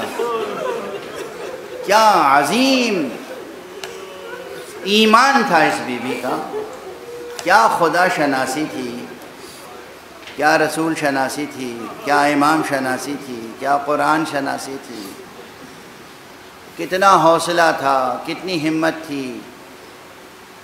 کیا صبر کیا ہے خواتین عالم کی تاریخ میں کوئی دوسری خاتون؟ زینب کے برابر آ کے کھڑی نہیں ہو سکتی۔ ہاں بہت سی خواتین گزری ہیں، مجھے اگر یاد آ جائے، پورا بند تو شاید نہ یاد آئے، مگر دو تین مصرے بکھرے ہوئے یاد آ جائیں۔ حضرت علامہ جمیل مظہری مرحوم و مغفور پروردگار ان کی مغفرت فرمائے، انہوں نے اپنے ایک مرثیے میں جناب حاجرہ اور جناب زینب کا تذکرہ کیا ہے۔ اور فرمایا ہے کہ شرط انصاف ہے، خالق افکار جمیل۔ ایک طرف اون و محمد، اس طرف اون و محمد ہیں، ادھر اسماعیل۔ اور پھر بیت ہے اس بند کی فرما گئے ہیں کہ قتل فرزند پا راضی ارادات و نتھی۔ ارے حاجرہ، صبر میں زینب سے زیادہ۔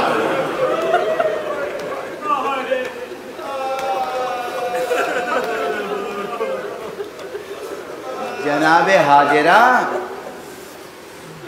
حضرت ابراہیم جناب اسماعیل کو لے کے گئے اور زندہ لے کے واپس آئے۔ جناب حاجرہ کو ایک ہلکا سا نشان گلوئے مبارک پہ نظر آیا یا بعض قرائن سے آپ نے سمجھا کہ بیٹے کو ذبح کرنے کے لیے لے گئے تھے، کیا صدمہ ہوا ہے؟ حاجرہ صبر میں زینب سے زیادہ تو نہ تھیں ارے قتل فرزند پر راضی ب ارادہ تو نہ تھی۔ یہ زینب ہے کہ جو شب بھر بچوں کو سمجھاتی نہیں، دیکھو کل روز عاشور ہے کل تمہارے ماموں حسین دشمنوں کے نرغے میں ہوں گے، کل جنگ ہے، کل جہاد ہے۔ بیٹا، تمہیں کل قربان ہونا ہے۔ ہمارا سلام ہو کربلا کی ماؤں پر۔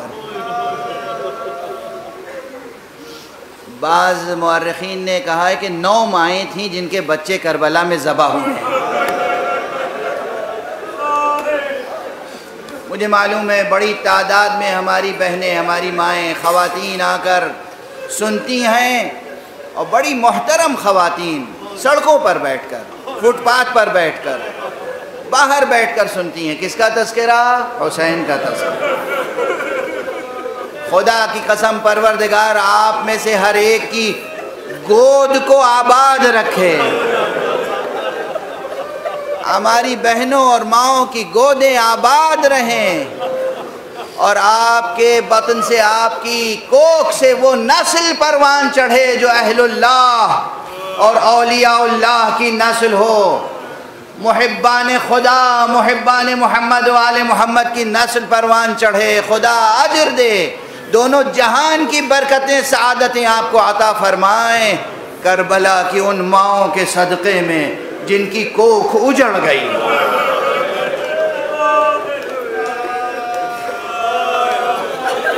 اور زینب کی شان تو یہ تھی کہ زینب صرف اون و محمد کی ماں نہیں تھیں روحانی اعتبار سے زینب جتنے بچے شہید ہوئے سب کے لیے ماں کا رتبہ رکھتے تھیں علی اکبر کو بھی زینب نے پالا تھا ماں کی طرح۔ قاسم اور قاسم کے چھوٹے بھائی عبداللہ کو بھی زینب نے پالا تھا ماں کی طرح۔ اس لیے کہ امام حسن مشتبہ کی جب شہادت ہوئی ہے تو یہ بچے بہت چھوٹے تھے۔ اور پھر کربلا میں شان یہ تھی، ماں کی طرح اکبر کا لاشا آیا تو ماں کی طرح آگے بڑھ کے استقبال کیا۔ قاسم کا لاشا آیا تو ماں کی طرح آگے بڑھ کے استقبال کیا۔ لیکن یہ بھی تاریخ ہے روایتوں میں کہ جب اون و محمد کے لاشے آئے۔ آقا حسین کو پوچھنا پڑا، میری بہن زینب کہاں ہے؟